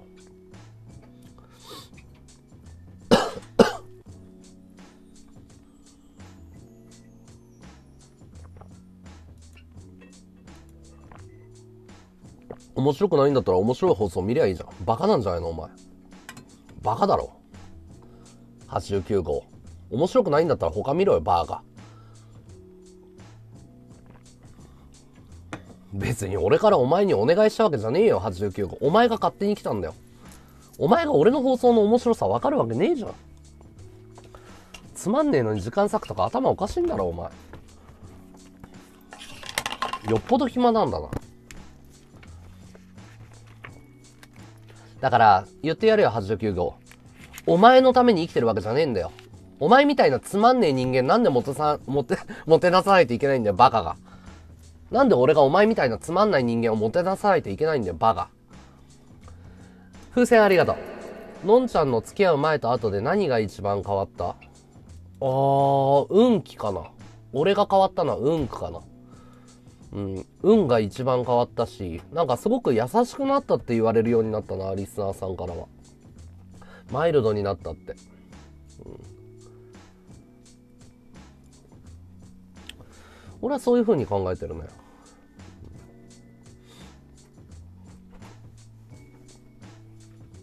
うん。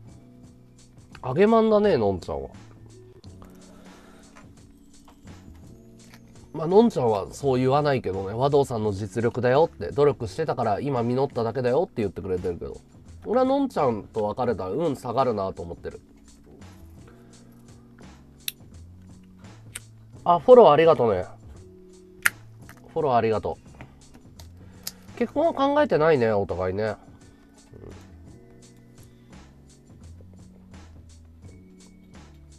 結婚考えてない。俺あげちんなのかな？どうなんだろう。それはね、うん、付き合った人に聞いてみないと。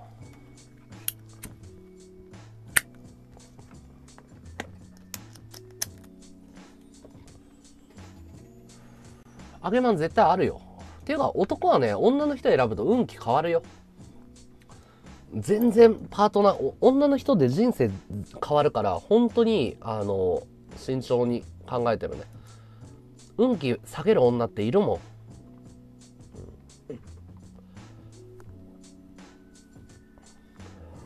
うわすごいメガホン1000個じゃあメガホン100個ありがとうありがとうすごいねこんなにたくさんくれんの？ありがとうありがとうね。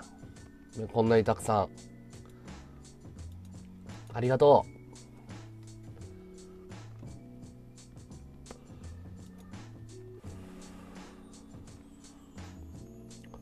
う。ねサポートしてくれるのありがたいよね。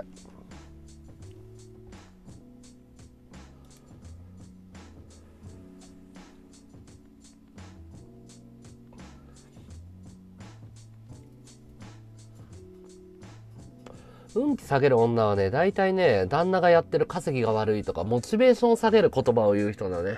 あと、イライライライラする人。要は、その、仕事、男はほら、仕事でさ、イライラしたりするの家庭に持ち帰らないのがマナーだと思ってんだけど、要はその、なんつうんだ、男のモチベーションを下げる人は、絶対男はやる気どんどんなくなっていくから収入も下がるし、男を泳がす人はやっぱ、でかいよね。あんたらしくやってきなさいとかさ、頑張れって。立てる人っていうか男をやる気にさせる人はあげまんだと思うね。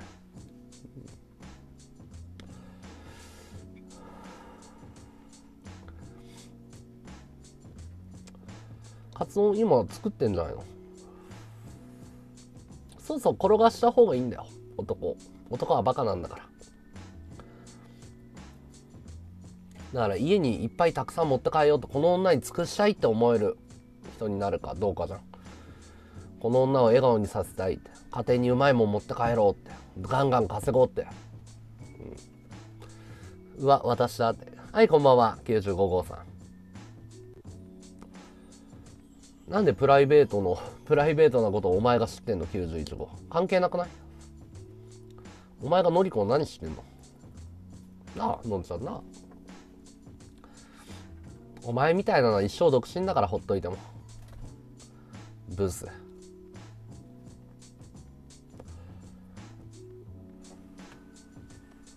男に相手にされるわけねえよこんなコメント打ってんのが。性格がブスなのが一番もうどうしようもないからね。女性は笑顔ね女性の笑顔に勝るね化粧はないよ。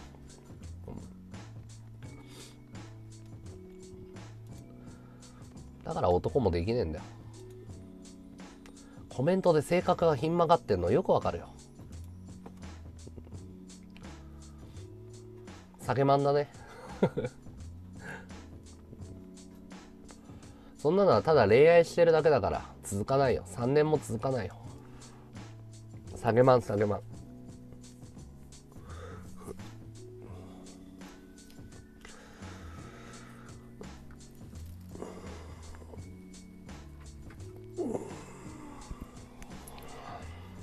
男にどんな仕事をさせるのかが女の勝負だよ。のんちゃん癒しだね、うん、かわいいよね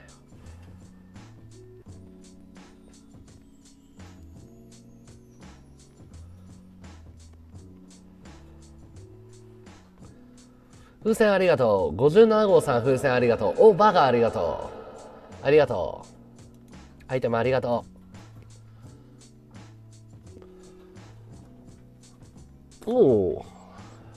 おメガホンもくれんの？メガホンありがとう。ハートありがとう。応援してくれんの？あ、応援するの？応援した方がいいよ、男は。うん。のんちゃん可愛いよね。可愛らしい。うん。キャラがとキャラが可愛いよねのんちゃんはメガホンありがとうねメガホンありがとう、花火投げろよっていうコメントやめてくんない？89号あのさお前はコメントでねくだらないことしか書けないかもしれないけどこの人たちは未然にを切ってるのお前とは違うんだよお前とは花火投げろやじゃねえんだよお前がいらない存在なのこの人たちは時間とかお金とかを割いてくれてる人なのバカだね。うん、バカありがとう。風船ありがとう。お前と違うんだよ、役立たずが。水に切ってくれてる人に焼かるんじゃねえよ。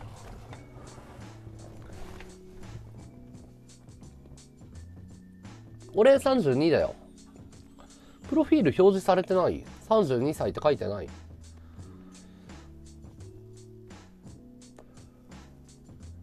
つまんねえなら消えろよ。お前がいる場所じゃねえんだよ。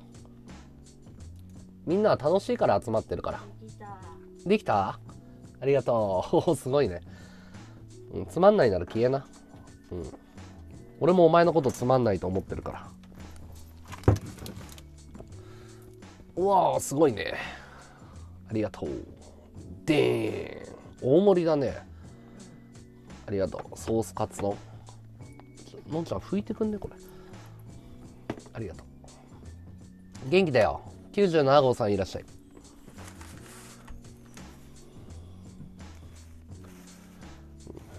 いただきます。そうカツあげようかってとんかつ作ろうかって言ったけどいやそんな時間かかるでしょっつって。冷凍のカツでいいよっつって。そしたら分かったっつって。冷凍のカツでカツ丼作ってあげるっつって。ありがとう。バーガーありがとう。のんちゃん優しいよ。こんな夜中なのに俺のわがまま聞いてくれんだも。ん 朝飯だけどね俺にとっては。ソースカツ丼だね、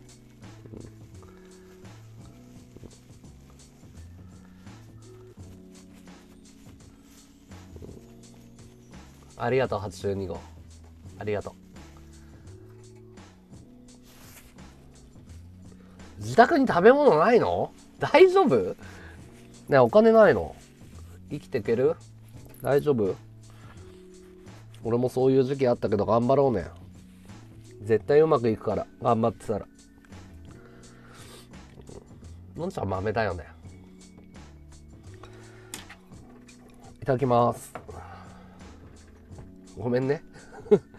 俺だけ。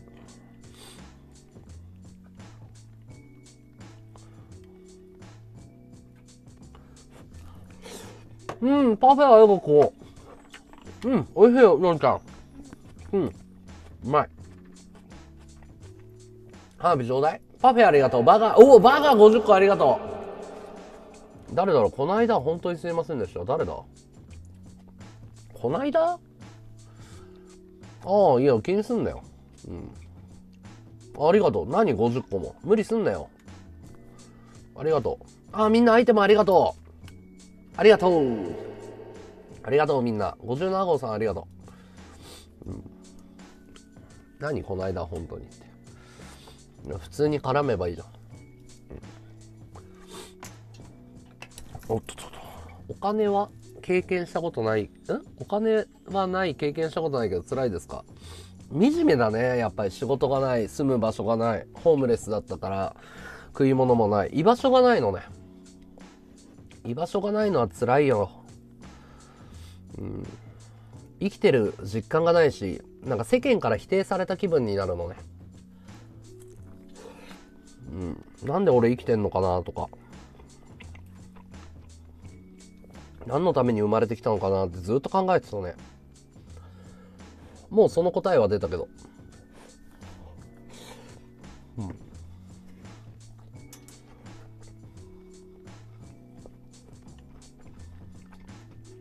だから俺の経験上を言うんだけどホームとハウスって英語あるでしょ？ハウスっていうのは家のことなの。ホームって家庭って意味でしょ？ホームレスな家庭がない。家庭をレスし居場所がない。段ボールかもしれないけど、ハウスはあるんだよ。あ、ホームレスって帰る場所がない人のことを言うんだって。自分がなって初めてわかんない。ハウスはあるんだ。段ボールだとしても。うん。うん、名前は絶対出さないよ。花火ありがとう。うん。だから、その、ホームレスっていうのは助けてくれる仲間とか家庭とか家族がいたら絶対ならないの。お？マジっすか？うん。え？すげえ意外だ。あ、ありがとうございます。うん。花火ありがとうございます。すげえ意外な人。うん、名前出せねえよ。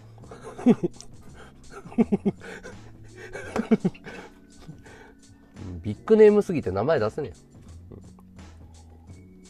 ありがとうございます。そうホームルとハウス言葉って面白いんだよね、うん、だからなんだろうホームレスにそのいたずらするやつとか俺殺意湧くんだよ。殺意。頑張ります。ありがとうございます、うん、絶対ダメなんだよ、うん、なりたくてなってる人なんかいねえんだよ、うん、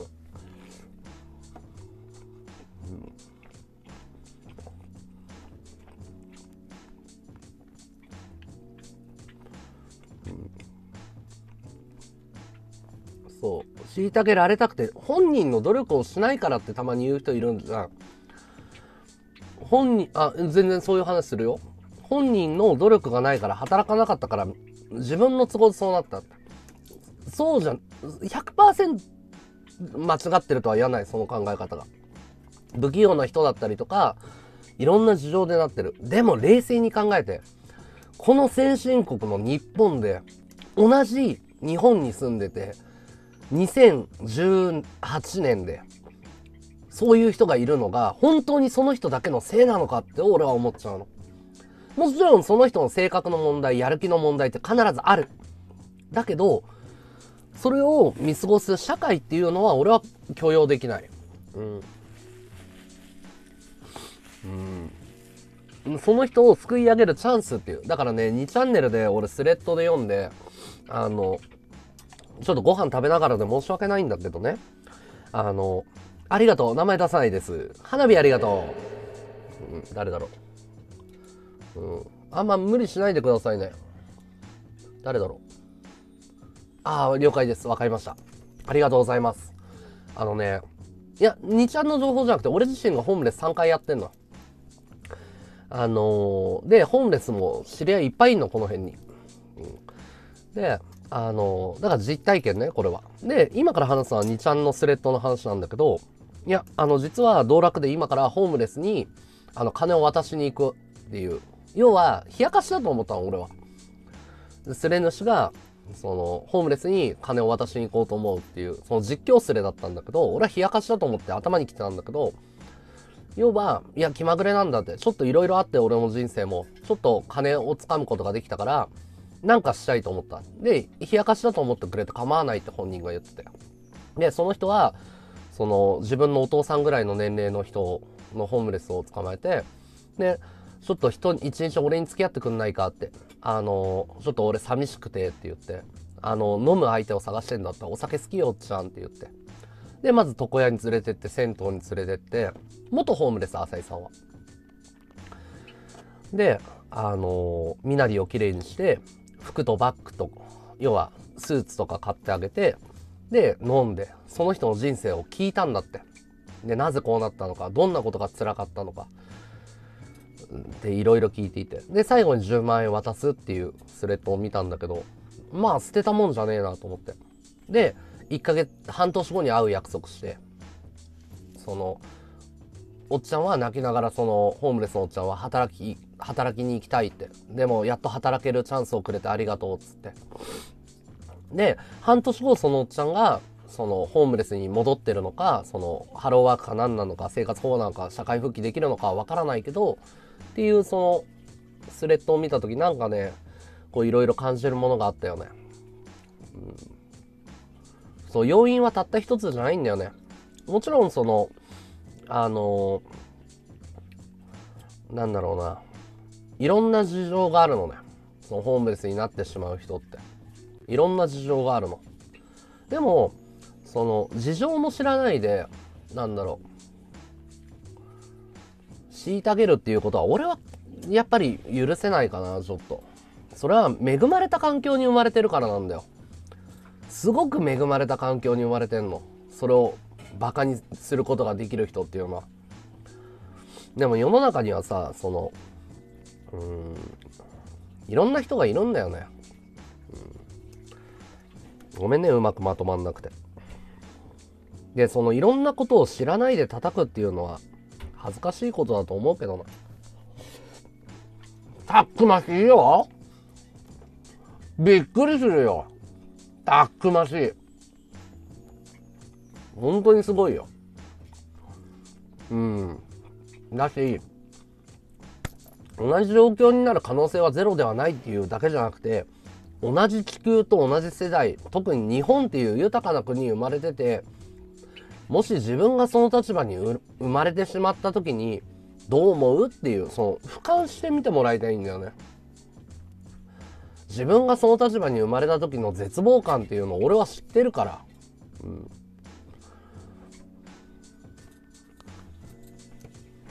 ああいいよ花火は。気が向いた時で。ホームレスはね3ヶ月ぐらいかな。うん。ああ違うよ。3ヶ月ぐらいか。3ヶ月ぐらい。それがさ、不思議なんだよ。不思議なんだけどその X さんの今シルバー作ってるスタジオがそこの漫画喫茶ネットカフェ難民ずっとやってたところ目の前の、X さんとここでボケーとだってここっすよっつって俺ここに3ヶ月いたんすよって X さんって3年前ここでうずくまってたんすよ、つって。その5年後にシルバーのブランド立ち上げようって言ってんだもん。なんか涙出そうでしょ泣け、泣けるぜ、本当に。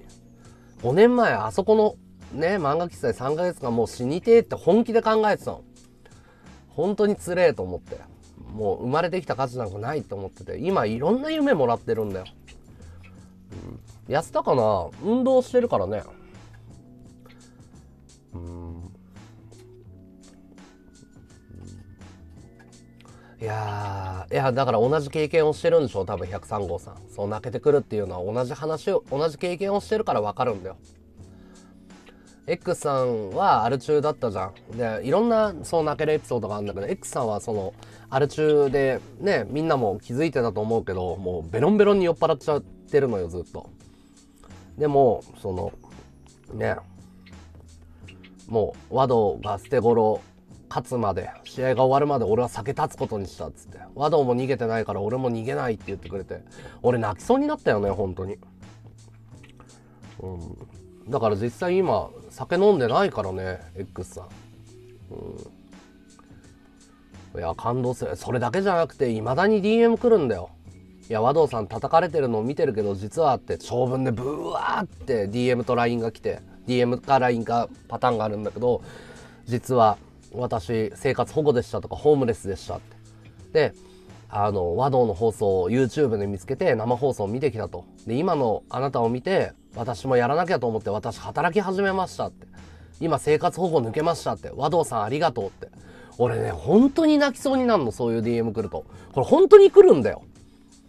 もうこうでこうで、娘がいて離婚したショックで働けなくて鬱で、もう何年間も引きこもってました。私逃げてましたって。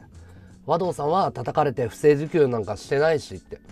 当事者だからわかるけど、あなたが今こうやってやりたいこと叶えててって。あ、私も生きていいのかなって思いましたって。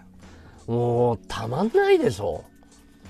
あと、それだけじゃなくて、今ホームレスだから助けてくれっていう連絡とかも来るんだよ。未だに来るんだよ。4年前の動画見て、和道助けてって。この LINE 和道本当にって。本当に和道って。いや、和道だよっつって。どうしたのって。いや、今、どこどこの駅で200円しかねえっ。泣けるだろう本当に。だからそういう時にその小川さんの動画とか生活保護の受け方とか社会復帰の仕方とかさ。うん、うん、なんかいろいろ感じるものがあるよね。世界の知らない誰かがさ、うん、で誰かが手差し伸べないと絶対無理だよ。もういい。はいはい。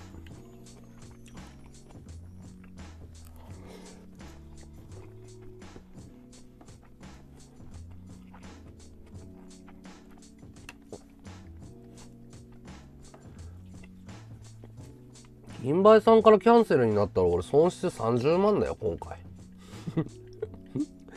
あの金梅さんからキャンセルが来たらあの正直言って俺損失30万だからね。死ねるよ。ホームレスになるから。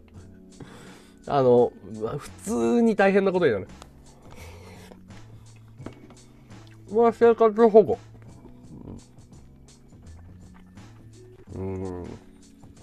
あの、78円のパンとかありがたいよね。あと、100円ローソンとかありがたいよね。スーパーの半額とかね。なんとかなるんだよね。うん。クモン流の練習会行くわけねえだろ。俺なんて言われたと思ってんの？撮影係で来てくれって言われたんだよ。行くわけねえだろ。断ったよ。和道さん、撮影係でちょっと来てくださいって。あれは確かにかそってるし、花火も飛ばねえしよ。人気もねえかもしんねえよ。同じ出場選手に撮影係ってどういうことだよ。舐められすぎだろいくらなんでもさすがに断ったわ俺にだってプライドあんだよなんでスタッフやんないといけないんだよ、クモン流の。バカにされすぎだろ。撮影係やれっつってんだよ、俺に。なんで俺がクモン流の企画の撮影やんねえといけねえんだよ。バカにされすぎだろ。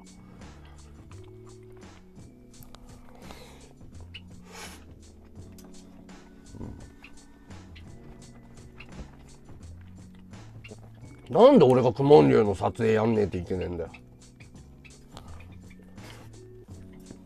俺が必要なんじゃねえだろ。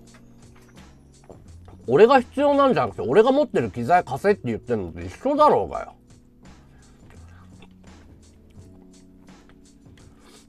さすがに腹立ったわ。どこが美味しいポジションなんだよバカが。恥ずかしくねえのかよ。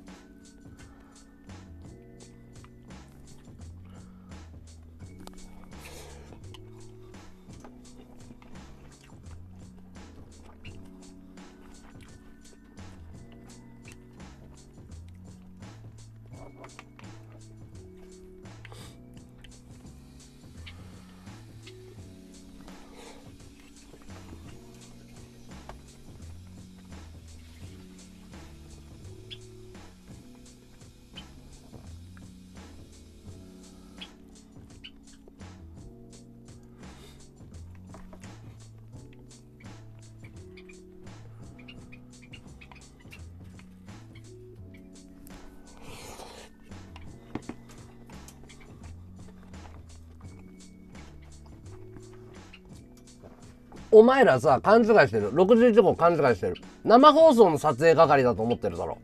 ちげえかんな。YouTube 用の動画の撮影機撮りに来てくれって言ってんだよ。くもんりゅう。生放送の撮影だと思ったろ。違います。YouTube 用の録画の、要はくもんりゅうくんがいかにかっこいい戦いをしてるかの YouTube 用画像撮りに来いって言われてんだよ。なあ。61号。僕の動画かっこよく撮ってください。なんで俺が録画撮りに行かねえといけねえんだ、あいつのスパーリングの。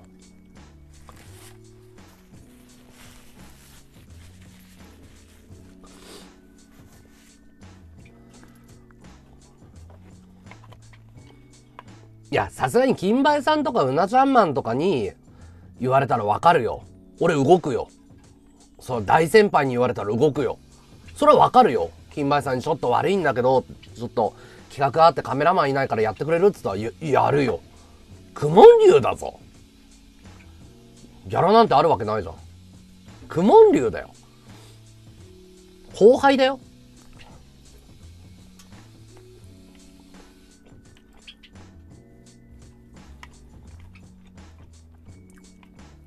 根に持つだろ。さすがに。根に持つだろ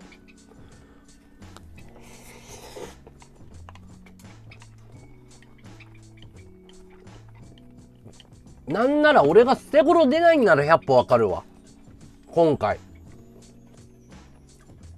今回捨て頃出ないならわかるわ。わかんない。舐められてるんでしょ。いいじゃん、断ったんだから。これでよくトレーニング会行かないんですかって行くわけねえだろバカが。行かねえよそんなの。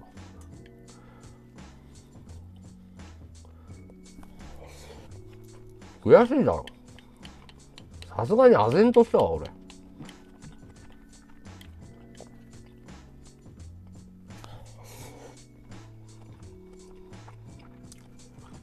だから呼んだんだよ。クモンリュウは呼んだつもりなんだよ。撮影係って。はっきり LINE にメッセージ残ってるから。撮影係で来てくださいって。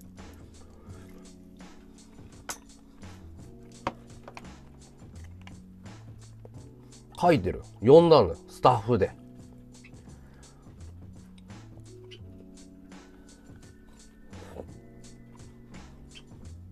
もういいじゃん。もうだから死んだ犬なんだよ。ま配信者としての威厳なんてこれっぽっちもねえんだよ。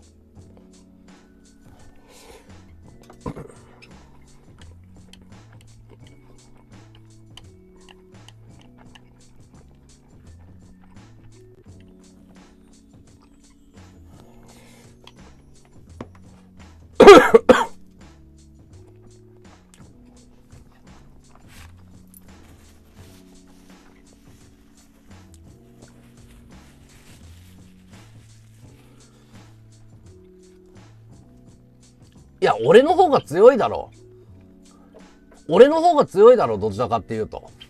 多分。僅差で俺の勝ちだろう。多分。前評判だと。いやいやいやいや。僅差で。僅差で勝つだろ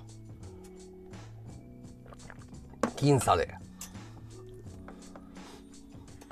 違う？ギリギリ。ボクシングルールだったら。ね、舐めたつもりがないのが本当に舐めてるんだって。悪意のない悪意が一番傷つくんだって。クモン竜はだからそんなつもりないんだよ。だから俺は怒ってんだよ。だから俺は怒ってんの。クモン竜は悪意がなくて本気で言ってんのよ。だから傷ついてんでしょ。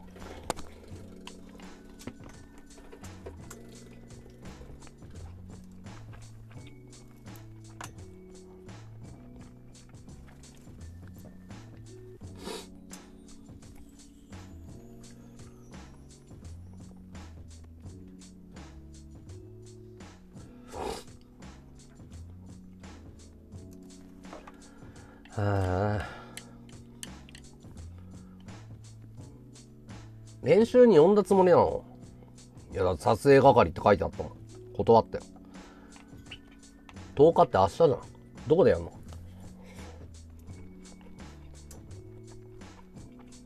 うん。完全にパシリだよね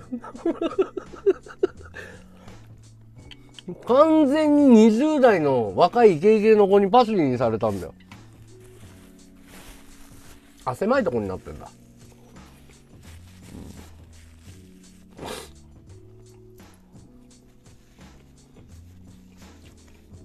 脳裏悪くないよ。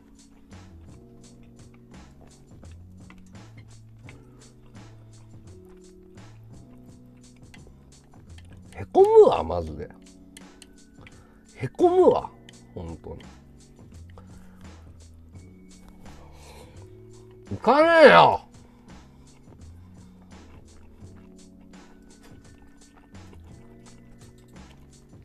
俺にもプライドあんだよ、バカ。行かねえよ。行かねえよ。行かない。やだ。俺どんな顔して行きゃいいんだよ。絶対嫌だ。画質がいいのみたいなふざけんなよ。てめえもお前、お前、お前、撮影係にするつもりだろう。いいんだよ、あそこ、低画質で見れや。ざまリスナーざま低画質で見ればいいんだ、お前らなんて。やだ、行かない。行きません。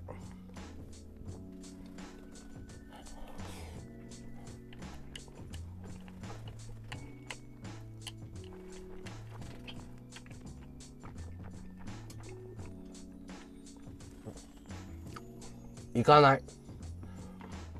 低画質で見ればいい、お前らなんて。プツプツの状態で見ればいいんだよ。くもんりゅうくんの。くもんりゅうくんのかっこいいところ、低画質で見てください。ざま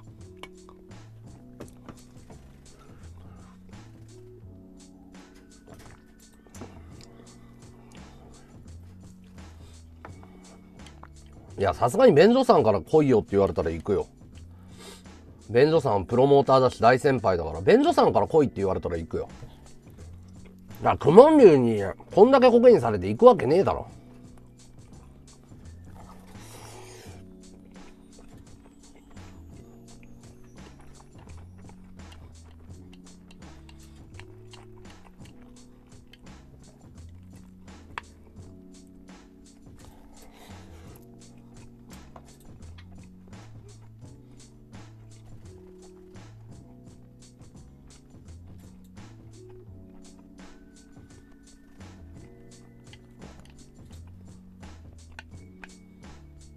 ありがとう。まつ。もう悔しいよ、おじさん。配信5年もやっててうだつが上がんなくて。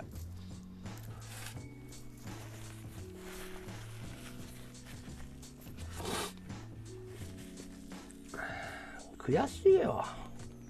後輩にどんどん抜かれていって。立場ねえわ。マジで。もう底辺ですよ、底辺。配信会、配信ってだけで底辺なのに、配信会の中で底辺。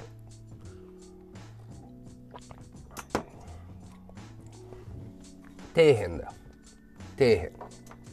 底辺中の底辺。悲しいわ辛いわ俺も囲われてえな2時間経って時給1000円稼げてねえんだよおい、この野郎おい花火3発だよ !2 時間経過だよ何が時給1000円稼げたらいいだろうだよこの野郎成田のカラオケで働いてた方がまだマシだわ。成田のカラオケで深夜のアルバイトしてた方がまだマシだわ。やめて。もう叩かないでこれ以上。極貧。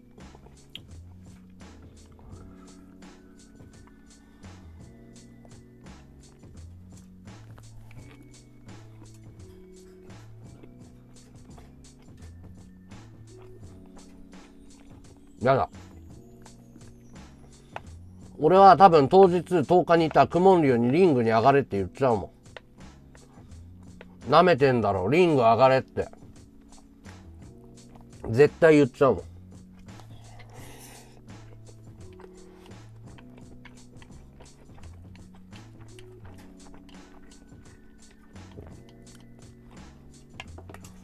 そうでしょ。俺のピーカブースタイルが火を吹くよ。俺のピーカブーが。だって俺に負けたらテルが、あ、テルじゃない。クモンリュウが俺に負けたら、捨て頃の前にもう、テルに負けた俺が、ね、クモンに勝っちゃうんだよ。テルに負けた俺がクモンに勝っちゃうってことは、もう絶対テルの勝ちってなっちゃうよ。うん。それでいいの？もう捨て頃がつまんなくなるからやめよう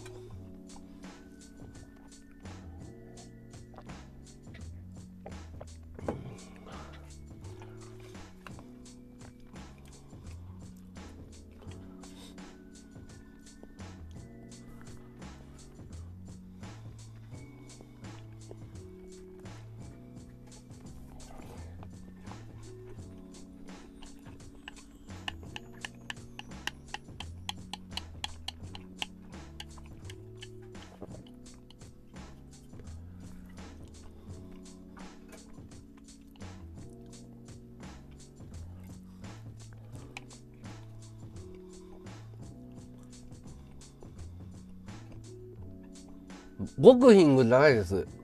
ボクシングです、僕がやってんの。ゴクヒングはしてません。ボクシングです、僕がやってんのは。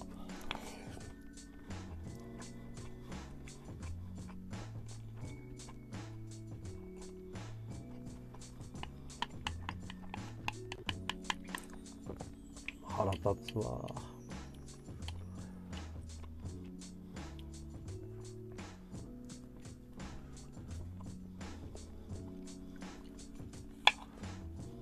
いんだよも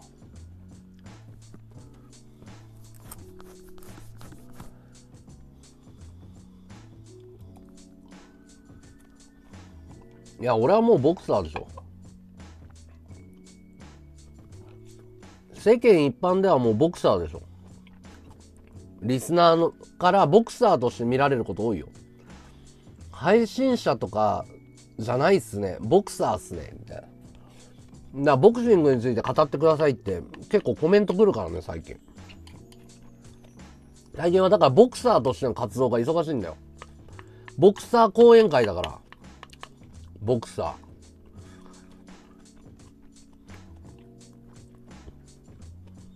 やっぱ俺のね、ボクシングをね、やっぱ憧れてる選手いっぱいいるから、隠れファンが多いから、ボクシング。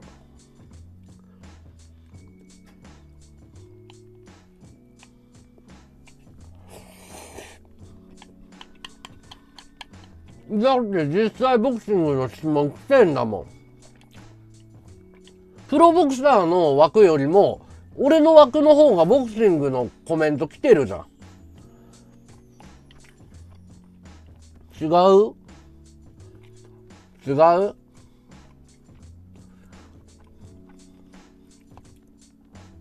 ま、いや、練習するよ。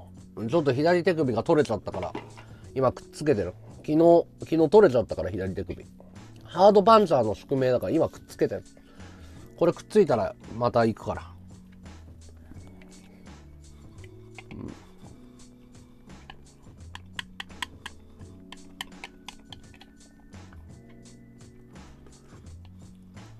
しょうがないじゃん。コメント来てんだから。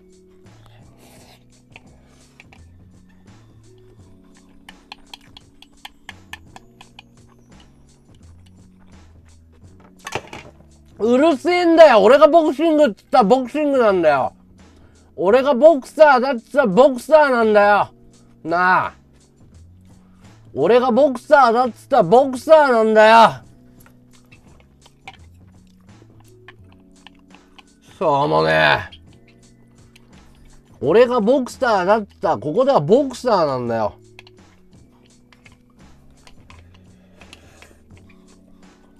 しょうもねえな、本当によ。よ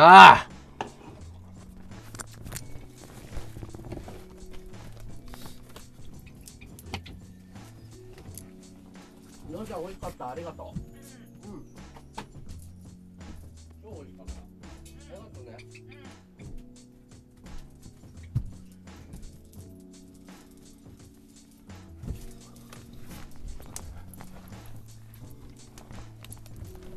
ああ。ただいま。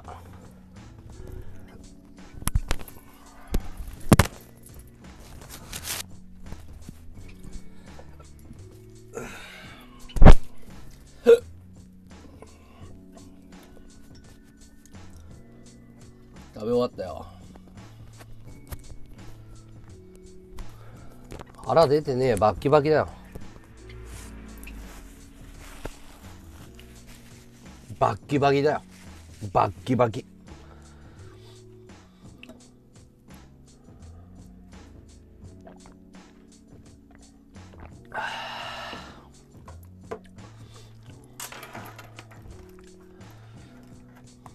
腹見たいの、うん。うん、バッキバキだから、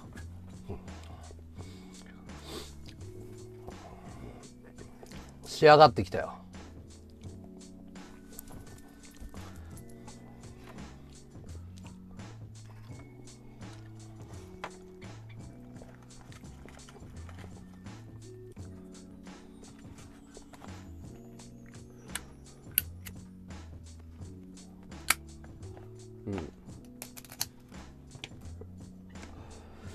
明日試合つが俺今から今からあの直樹兄さん戦っても勝てるからね、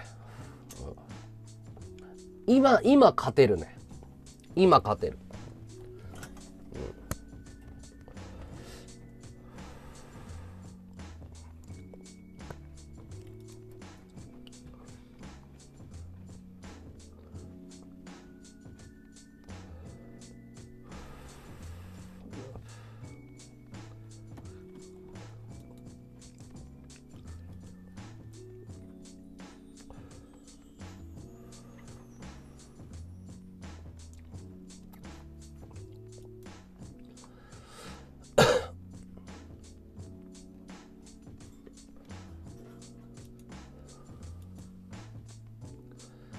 子悪いななんか今日客層が悪いな客層が。客層が良くない今日。客層がは良くない。客層が。客層が非常に悪い今日は。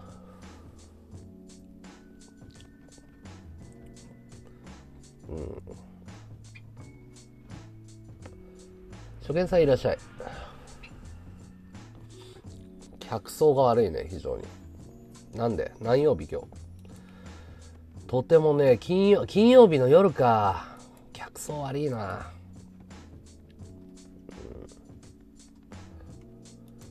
いや花火が上がった時しかコンドームはやらないから。花火が上がったらコンドームマン出てくるからコンドームマ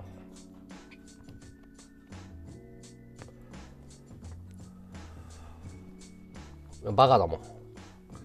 バカなんだもんしょうがねえじゃねえか。バカなんだから。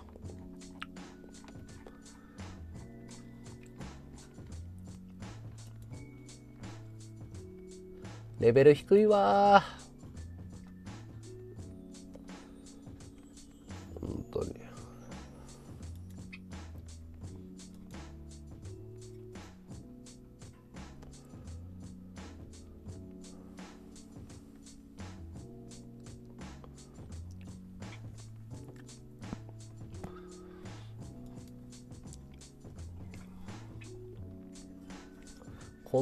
マンスーパーヒーローだからね。世界の覇者だからコンドームマンは。スーパーヒーロー。ヒーロー剣山。ヒーロー剣山。ヒーロー剣山。あ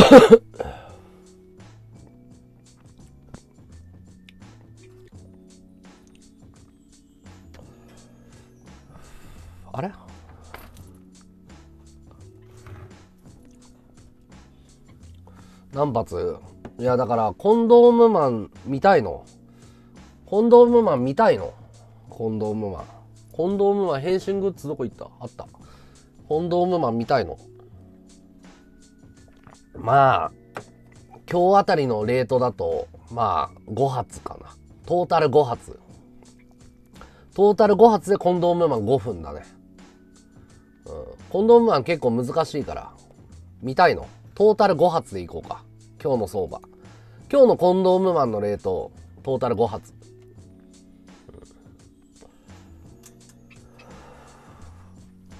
見たことないんだ。コンドームマンスーパーヒーローだからね、うん、コンドームマン知らないのはにわかだよ。にわか。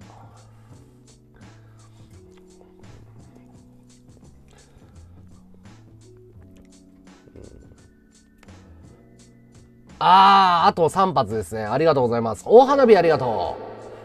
あとじゃあ3発で。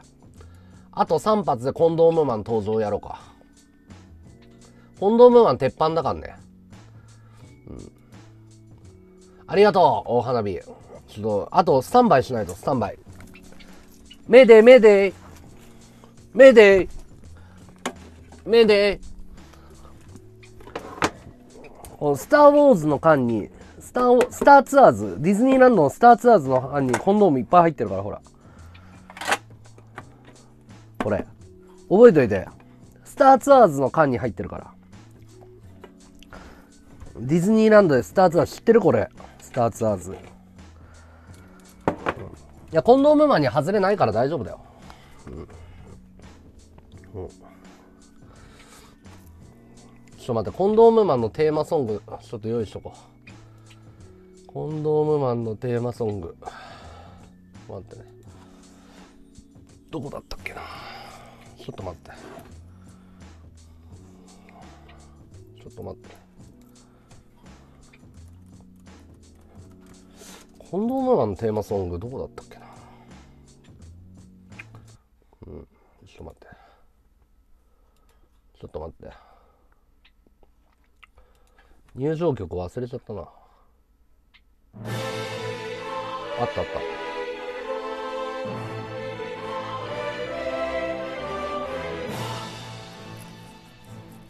あったあった。大丈夫。スタンバイ OK 業務連絡業務連絡。スタンバイ OK よいしょ。いや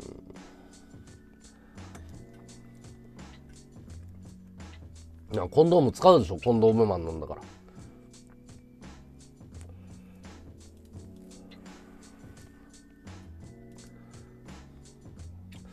えっ、ー、とダウンロードどこだ？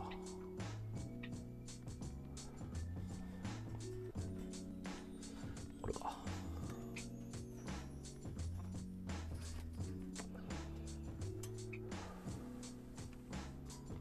老人騙してお金奪いません僕は。やめてください。やめて。コンドームマンは聖なる聖なるヒーローだから。聖なるヒーロー。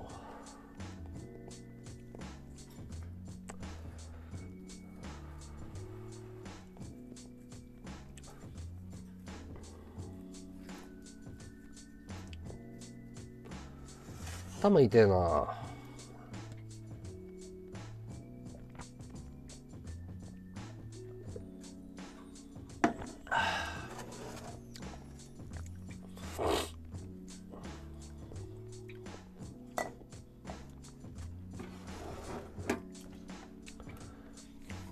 なんでコメント止まったの？何これ？バグ？なんでコメント止まったの？バグ？コメントが見えないな。バグってる？見えてる？なんだろう？バグった？もしもーし。もしもーし。もしもーし。止まってる？なんだろうね。急に止まったね。ああ、大丈夫。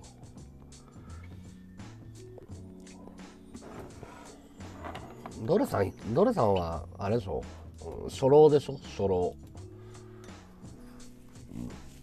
ドレさんは初老。コンドームマンの期待値低い？コンドームマンの期待値低いの？見たくないの？コンドームマン。期待値低いの？見たくないの？コンドームマン。ねえ。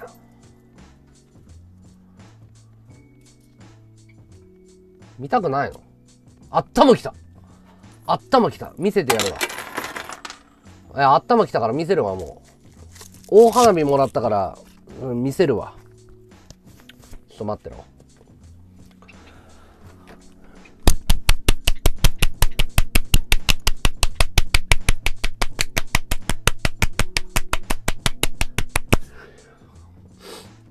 ょっと待って。見たいの？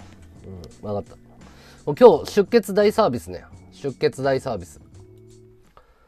いやもう花火上がんなかった。いや、一肌脱ぐでしょ？大花火のために。ちょっと待って。えー、っと、ちょっと待ってね。あれ？ダウンロード。どこだ？よいしょ。行こうか。「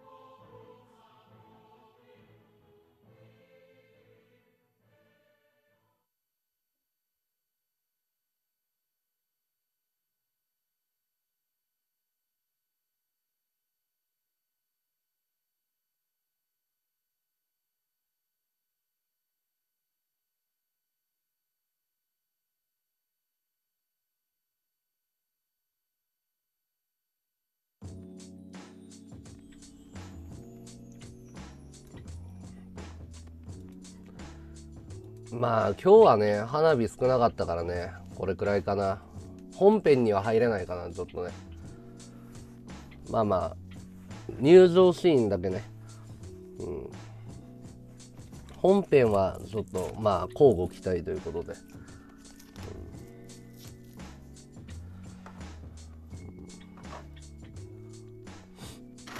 セリフなしバージョンだったね。セリフなしバージョン。まさかコンドームマン知らない人がいるとは思わなかったからさ。ちょっとサービスしちゃったわ。えコンドームウーマンもいるからねちなみに。コンドームウーマンもいるから。コンドームウーマンさらにレレアキャラだからね。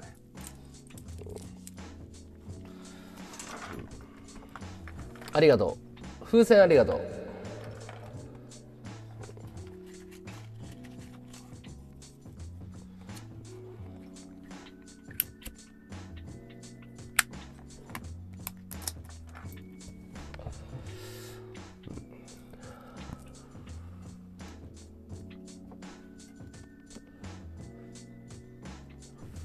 コンドームメイン。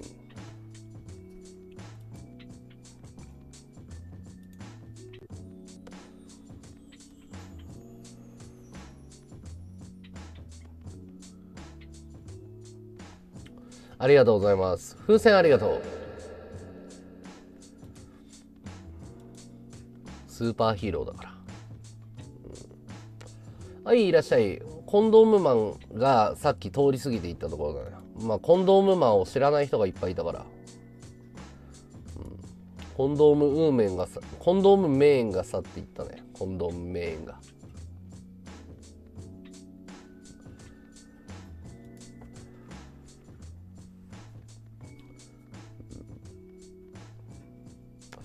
2人でねコンドームマンとコンドームウーメンが揃う時は世界の危機だけだから。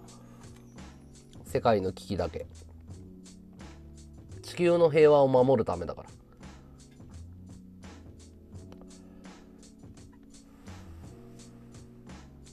難しいよこれ、うん、結構テクニカルなんだ。やってみたんだ。部屋の中でやってみたんだ。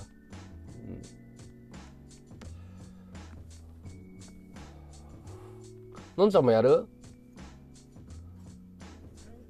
のんちゃんもやる？やる？来る？こっち、うん、やろうか。うん。じゃあコンドーム、うん、コンドームウーメンやろうか、うん、ちょっと待って準備しよう、うん、こっちおいで、ちょっと狭いけど汚いけどおいで。できるよ大丈夫だよ、やる？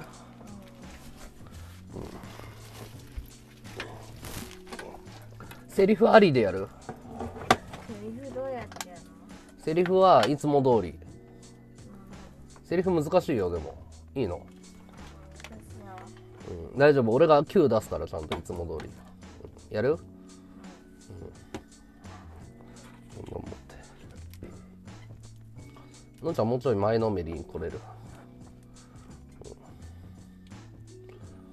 うん、いいか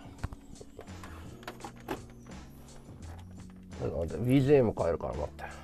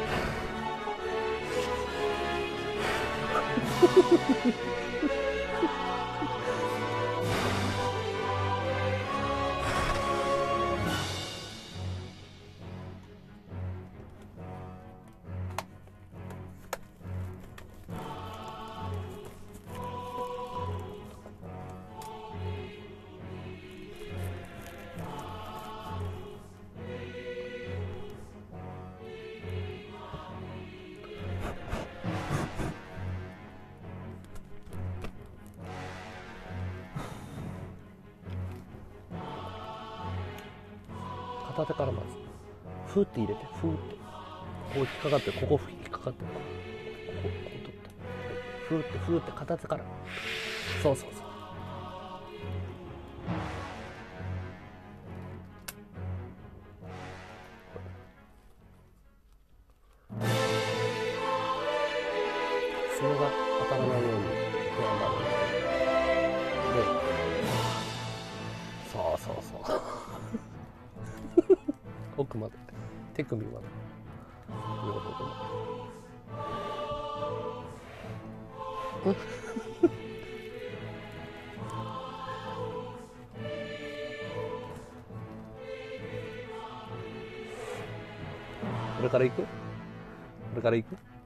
見ててよ。よく見ててまず感じて。ゴムを。ゴムをそうそういいよ。ゴムを感じる。で広げる。バフンバフンバフンバフンバフン。バフンバフンバフンバフンバフンバフンバフンバフンバフンバフンバフンバフンバフンバフンバフンバフンバフンわかるそうねそうそうそうそうわ脇を脇を使ってそうそうでここまでそうでこれを邪魔しますって気持ちね。ここに来たらここはお邪魔しますの気持ち。わかる？なんか。言ってみて。お邪魔しますって言って。そうそうそう。その気持ちが大事。わかった？まあ見ててね。お邪魔します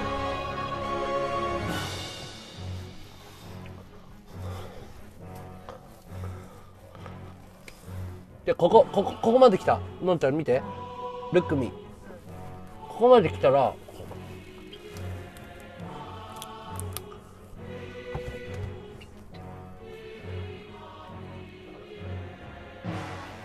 お邪魔しますね。おじお邪魔しますって。お邪魔します。お邪魔しますの気持ちがちょっと足りない。もっとお邪魔しますって。うん、もっとお邪魔しますって。すすいませんって感じで。ごめんなさいすいませんお邪魔しますって感じで。すいませんすいませんって感じで入って。そうそうそう。もっとお邪魔しますいやいやいや真ん中センターがずれてるセンターがずれてるセンターがずれてるからセンターを感じて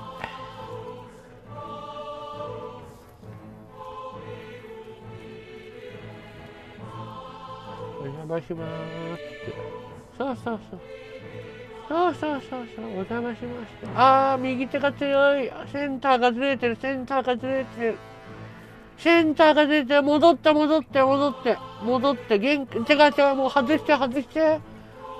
センターがずれてるからダメダメノンノンノンノンダメダメダメ入らない。無理無理無理。あ戻って戻って。センターがずれてるの。俺がやる？大丈夫。大丈夫？いける？うん。お邪魔しますって。でいくよ。なんじゃ頭から入る感じね頭からセンターそうで広げていく感じそうえああ後ろすぎる。もっと前。もっと前。そう。もっと前もっと前。もっと前。そうそっからぐーって。ぐあーダメだな。惜しい。惜しい。とっても惜しい。お邪魔します。すいません。すいませんね。ああ、後ろすぎる。もっと前。頭頂部と。そうそうそう。お邪魔しますって。そうそうそうそう。そうそうそう。いいよ、いい子、いい子、いい子。いい子、いい子。もっと入ろうか。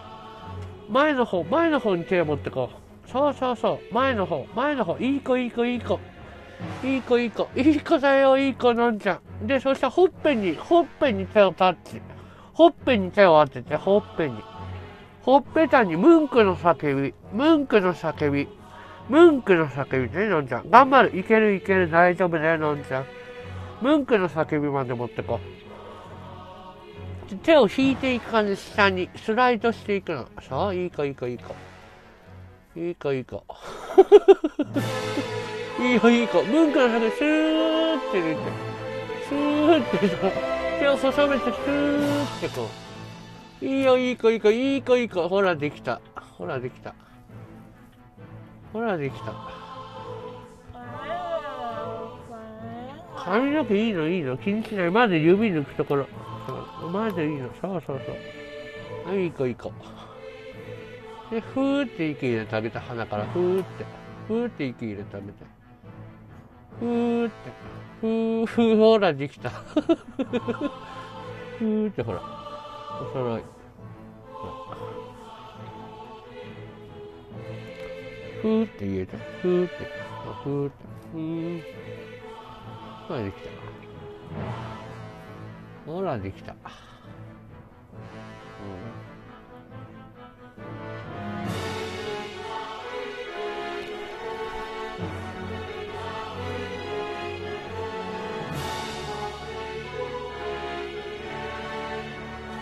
どうしたの？何やってるの？手はいらないよ。手はいらない。もう大丈夫。手はいらないから、うん。ちょっとおめかししないとね。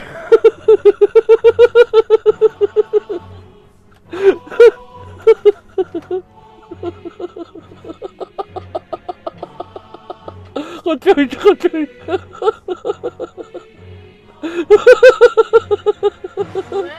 目目が痛いですおめか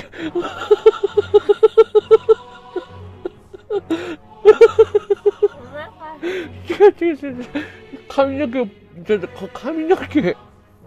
髪の毛ずらさないと。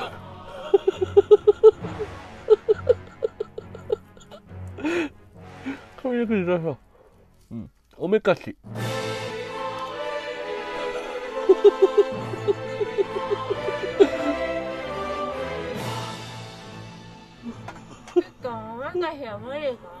頑張って頑張って。できるできる。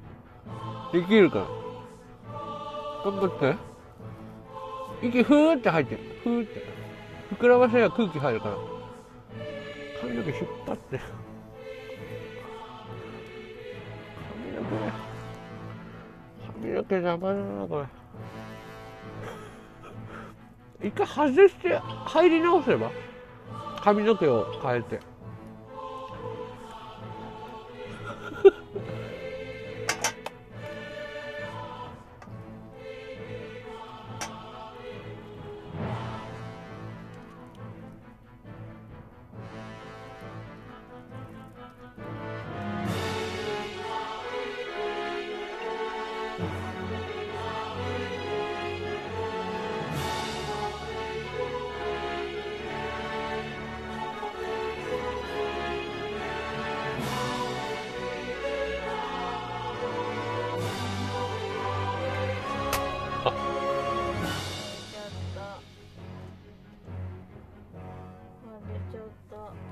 それちゃったよ一回やる？うん頑張ろう。頑張ろう。でも今のうまくいってたからね。上手だった。よとっても上手。とってもいい子、うん、次はいける。頑張る？頑張る。頑張る？大丈夫？心折れてない？心折れてない？大丈夫？うん大丈大丈夫、うん頑張って。あなたならできる。夫ありがとう。あなたなら必ずできる。頑張ってね。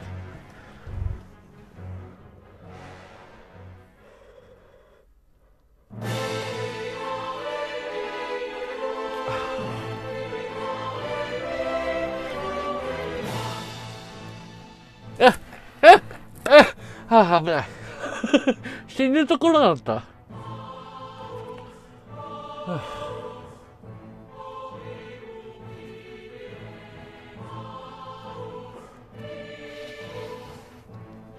この辺から入るイメージ？この辺？でセンターね。お邪魔しますってこうこう入っていく感のんちゃん見て。俺のこと見て。こうお邪魔します。お邪魔します。すいません。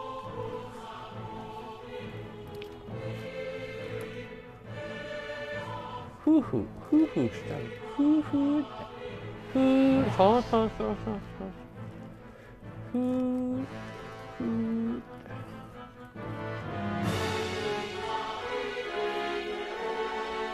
大丈夫みんな見てるからみんな応援してるあなたならできるできるわよいけるわよもうちょっと前かなおでこら辺から入りましょうおでこから行きましょう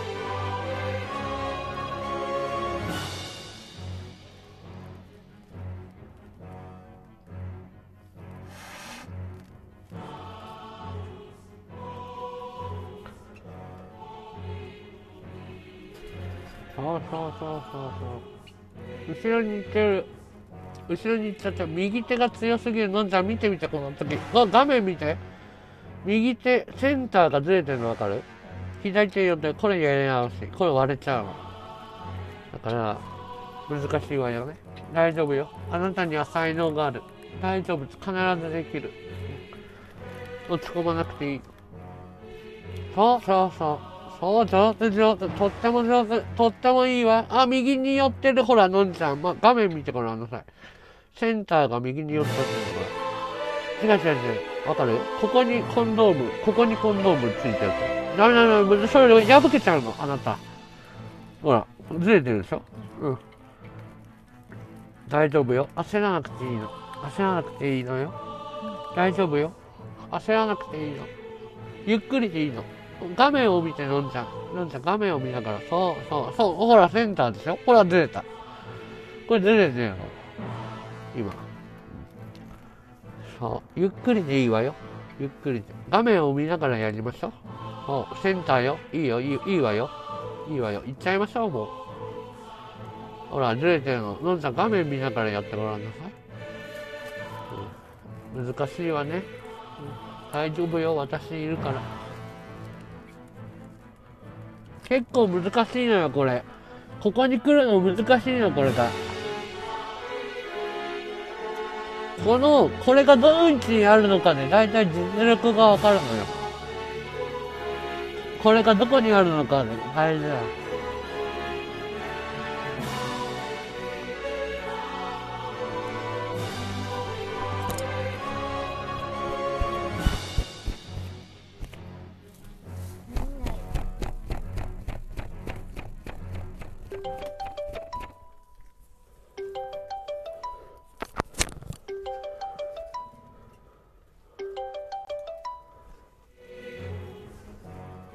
頑張れ頑張れ。真ん中にするのがとっても難しいのね。それはこうやってやるの。こ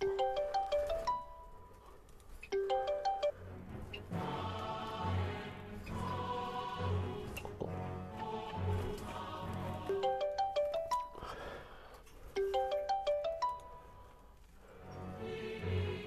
空気読めないやつがいる。空気読めないやつがいる。あねこうなっちゃうの。こう。こう。入ってお邪魔しますって頭から入る感じわかるどんどん手でやるせいかこう。こう。こう。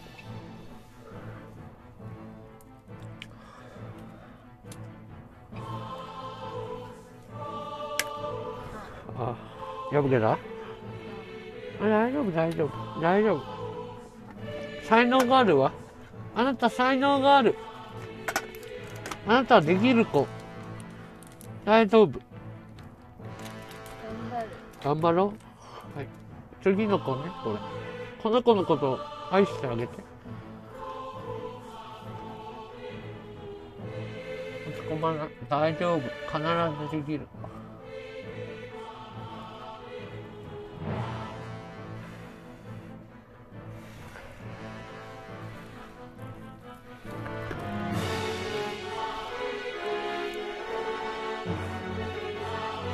間に不可能なんて必ずないの？あなたわかる？不可能なんてないわ。そう思わない？あなた。そうね。人間に不可能なんてかない。私は知ってる。不可能なんてない。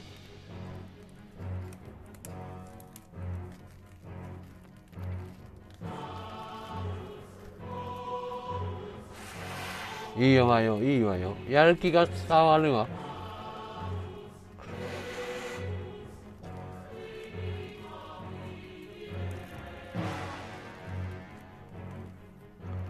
いいいい顔してる。見てあなた自分の顔見ていい顔してる。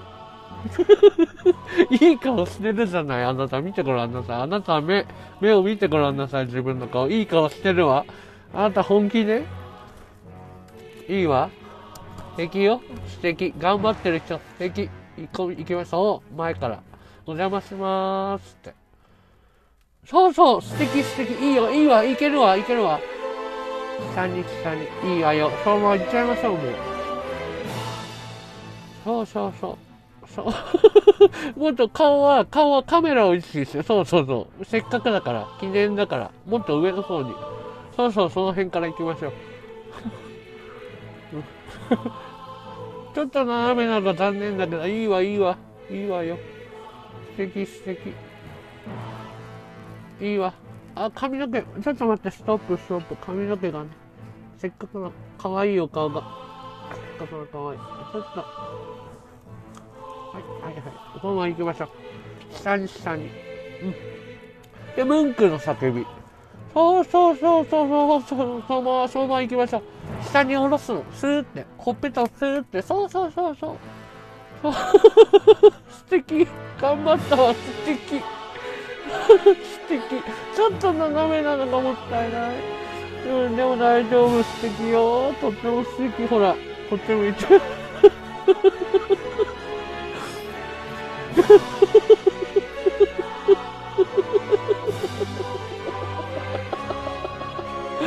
いいじゃない。あんた才能あるわよ。呼吸が難しいそうまだ慣れてないからね。まだ。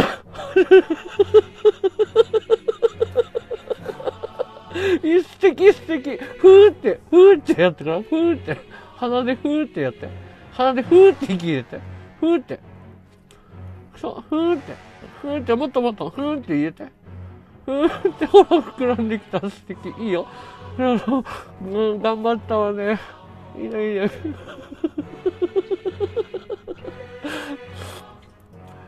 素敵。いいよ。息はあんまり入れすぎないよ。そうそうそうそうそれがコンドームマンね。そう。素敵よ。あんまり息入れないの。息を入れる時だけはこれがしぼんだ時だけね。コツがいるの。そうこっち向いて。カメラ向いて。カメラ向いて。カメラ目線。うんいいわ素敵よ。あなた素敵。うん。素敵よとっても。うん。みみんなも応援してる仲いがある。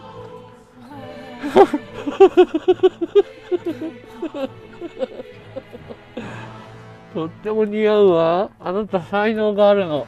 私分かってたの。出会った時から分かってたの。コメントが見えないのだけど。分かるでしょ？これコメントさばくの大変なの本当に。コメントが見えないの。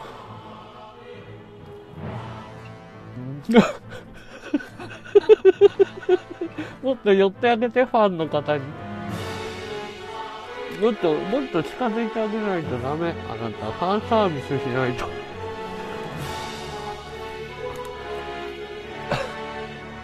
コメント見んの？そう。コメント拾ってあげて。いやできるできる。あなたならできる。あなたは才能あるから。そういう時はね息を吸うの息を吸うの。息を吸うとね今度もピタッと目のところに行くから。ギリギリ見えるから。息を吸いながら見るの。そうそうそう上手上手。あなた上手才能あるわ。本当にね。なんて言ってるのかしらね、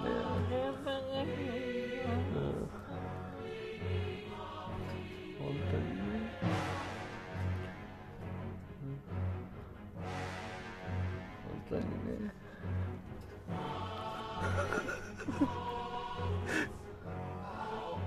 もう取っちゃうの危ない。のそう。危険なの。命のい。命の危険を感じながらやるのがコンドームマンそうそう言っちゃ言いたいのこれがねあなたいつもより綺麗よあなたいつもより綺麗よ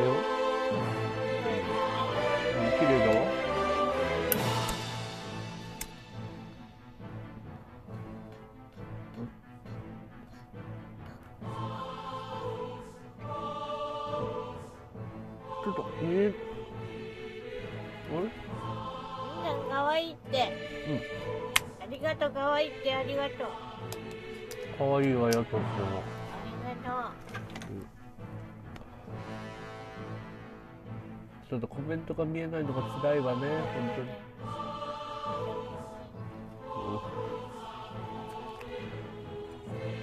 あなた出会って出会った頃からね才能感じてたの本当に。のんちゃんも吸いたい。のんちゃんも吸いたいの？吸ってるところ見せてあげてタバコ吸いたいわよね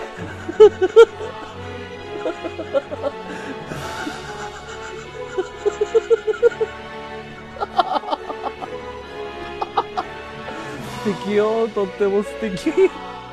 タバコが似合うわ。あー素敵。あいいわいいわ。ーいいわ。いいわね、うん。素敵よ。多分これインターネットでばらまかれるわよこれ。キャプチャーキャプチャーして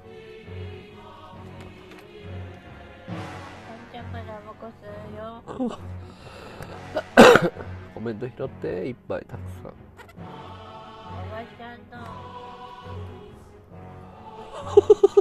今日の頃は。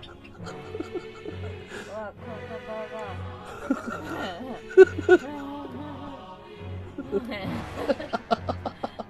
よくいるな。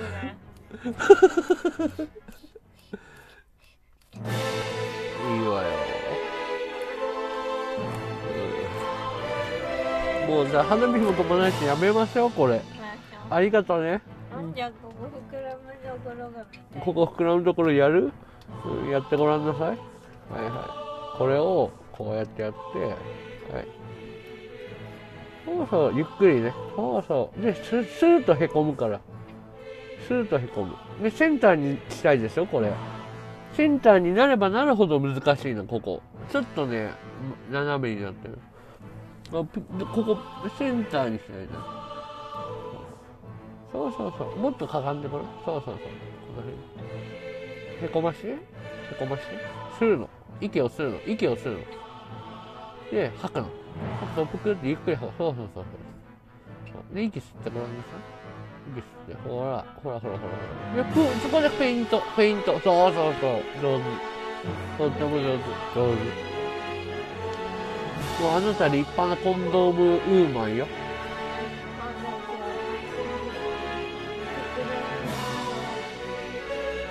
行くの？行くのあなた。それ勇気がいるわよ。思いっきり勇気。もう勢いよ。口で息を吸って鼻で吐く。口で息を吸って鼻で吐く。繰り返す。そう。で口で息する鼻で吐く。そう。そう。あと必殺技行くの？それ大技よ？大技行くのね？やってごらんなさい。勢いよ勢い。耳が痛いの。頑張って。気圧で。耳が痛いけど頑張って。そうそうそう。まだあなたには早いと思うわ。まだあなたには早いんじゃないかしら。まだあなた制御できてないわ。怖い怖い怖い怖い。あまだ。まだ早いのよ。まだ無理しなくていいの。もうやめてもうやめ。それ。結構いくな。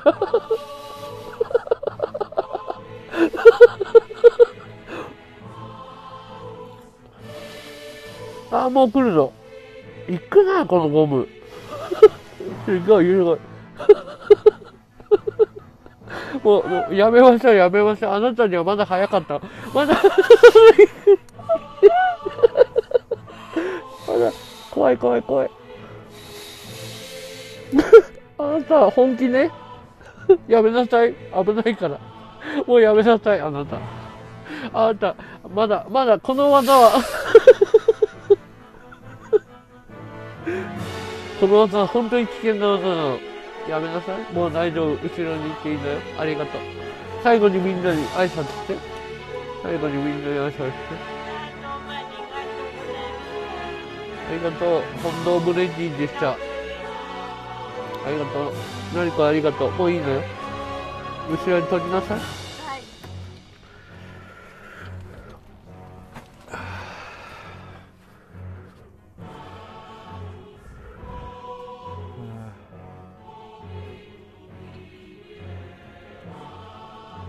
Yeah.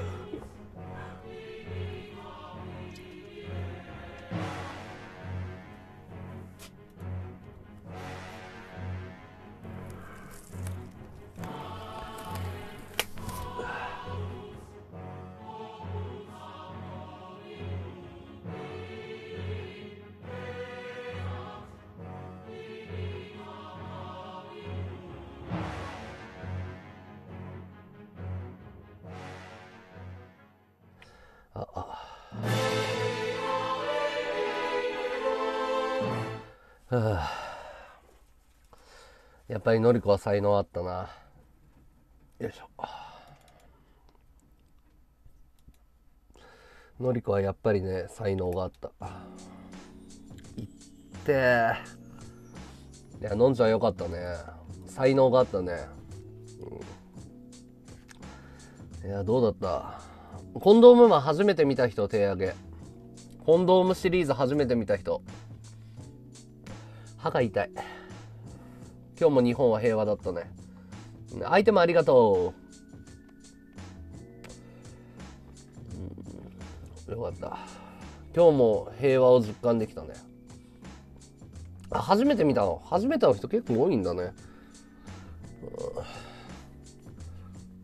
初めてだったんだコンドームシリーズ。歯が痛い。結構レアキャラ。年に1回見れるか見れないかのレアキャラだから、うん、和道リスナーとしてコンドームは知らないっていうのはねやっぱにわか扱いされるからよかったわ、うん。よかったよかった。これでまた和道リスナーとしてのレベルが上がったね。えー、良い子は絶対に真似しないでください。君たちが思ってるよりもきついから。君たちが思ってるよりも大変だからねこの技は。命の危険になる技だから、うん。ちょっとご祝儀ちょうだいご祝儀。アイテムくださいアイテム。3時間でねちょっと2000円ぐらいしか稼げてないんで。レベル上がった？よかった。みんなで上目指そうね。のん。ちゃんは配信者じゃないからかわいそうでしょ。スペシャル出演だよコンドームーマン。でも意外とこうお肌の張りとかツヤとかが良くなるから。これおすすめよ、コンドームマンはおすすめよ、意外と飛ばなかったね。まあいいか、まあいいか。意外とご祝儀なかったけどね。まあまあまあ。たまにはねファンサービスしないとね。ファンサービスしないと。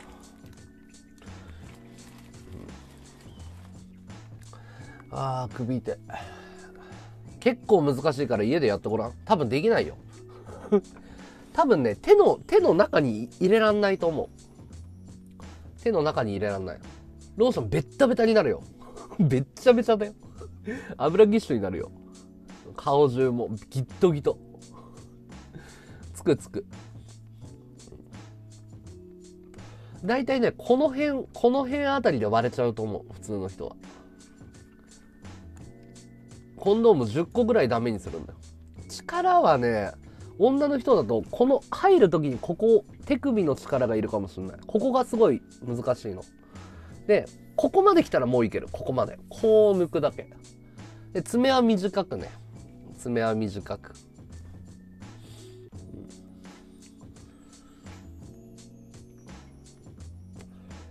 やってやってみごらん。結構難しいから。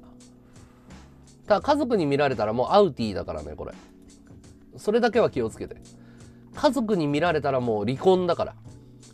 離婚と感動は覚悟してくださいね。離婚と感動は。うん。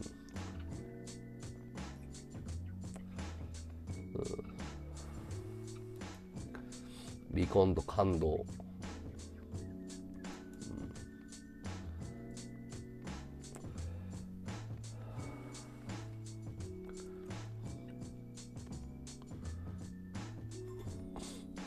説明がプロよ。まあコンドームマンだからね、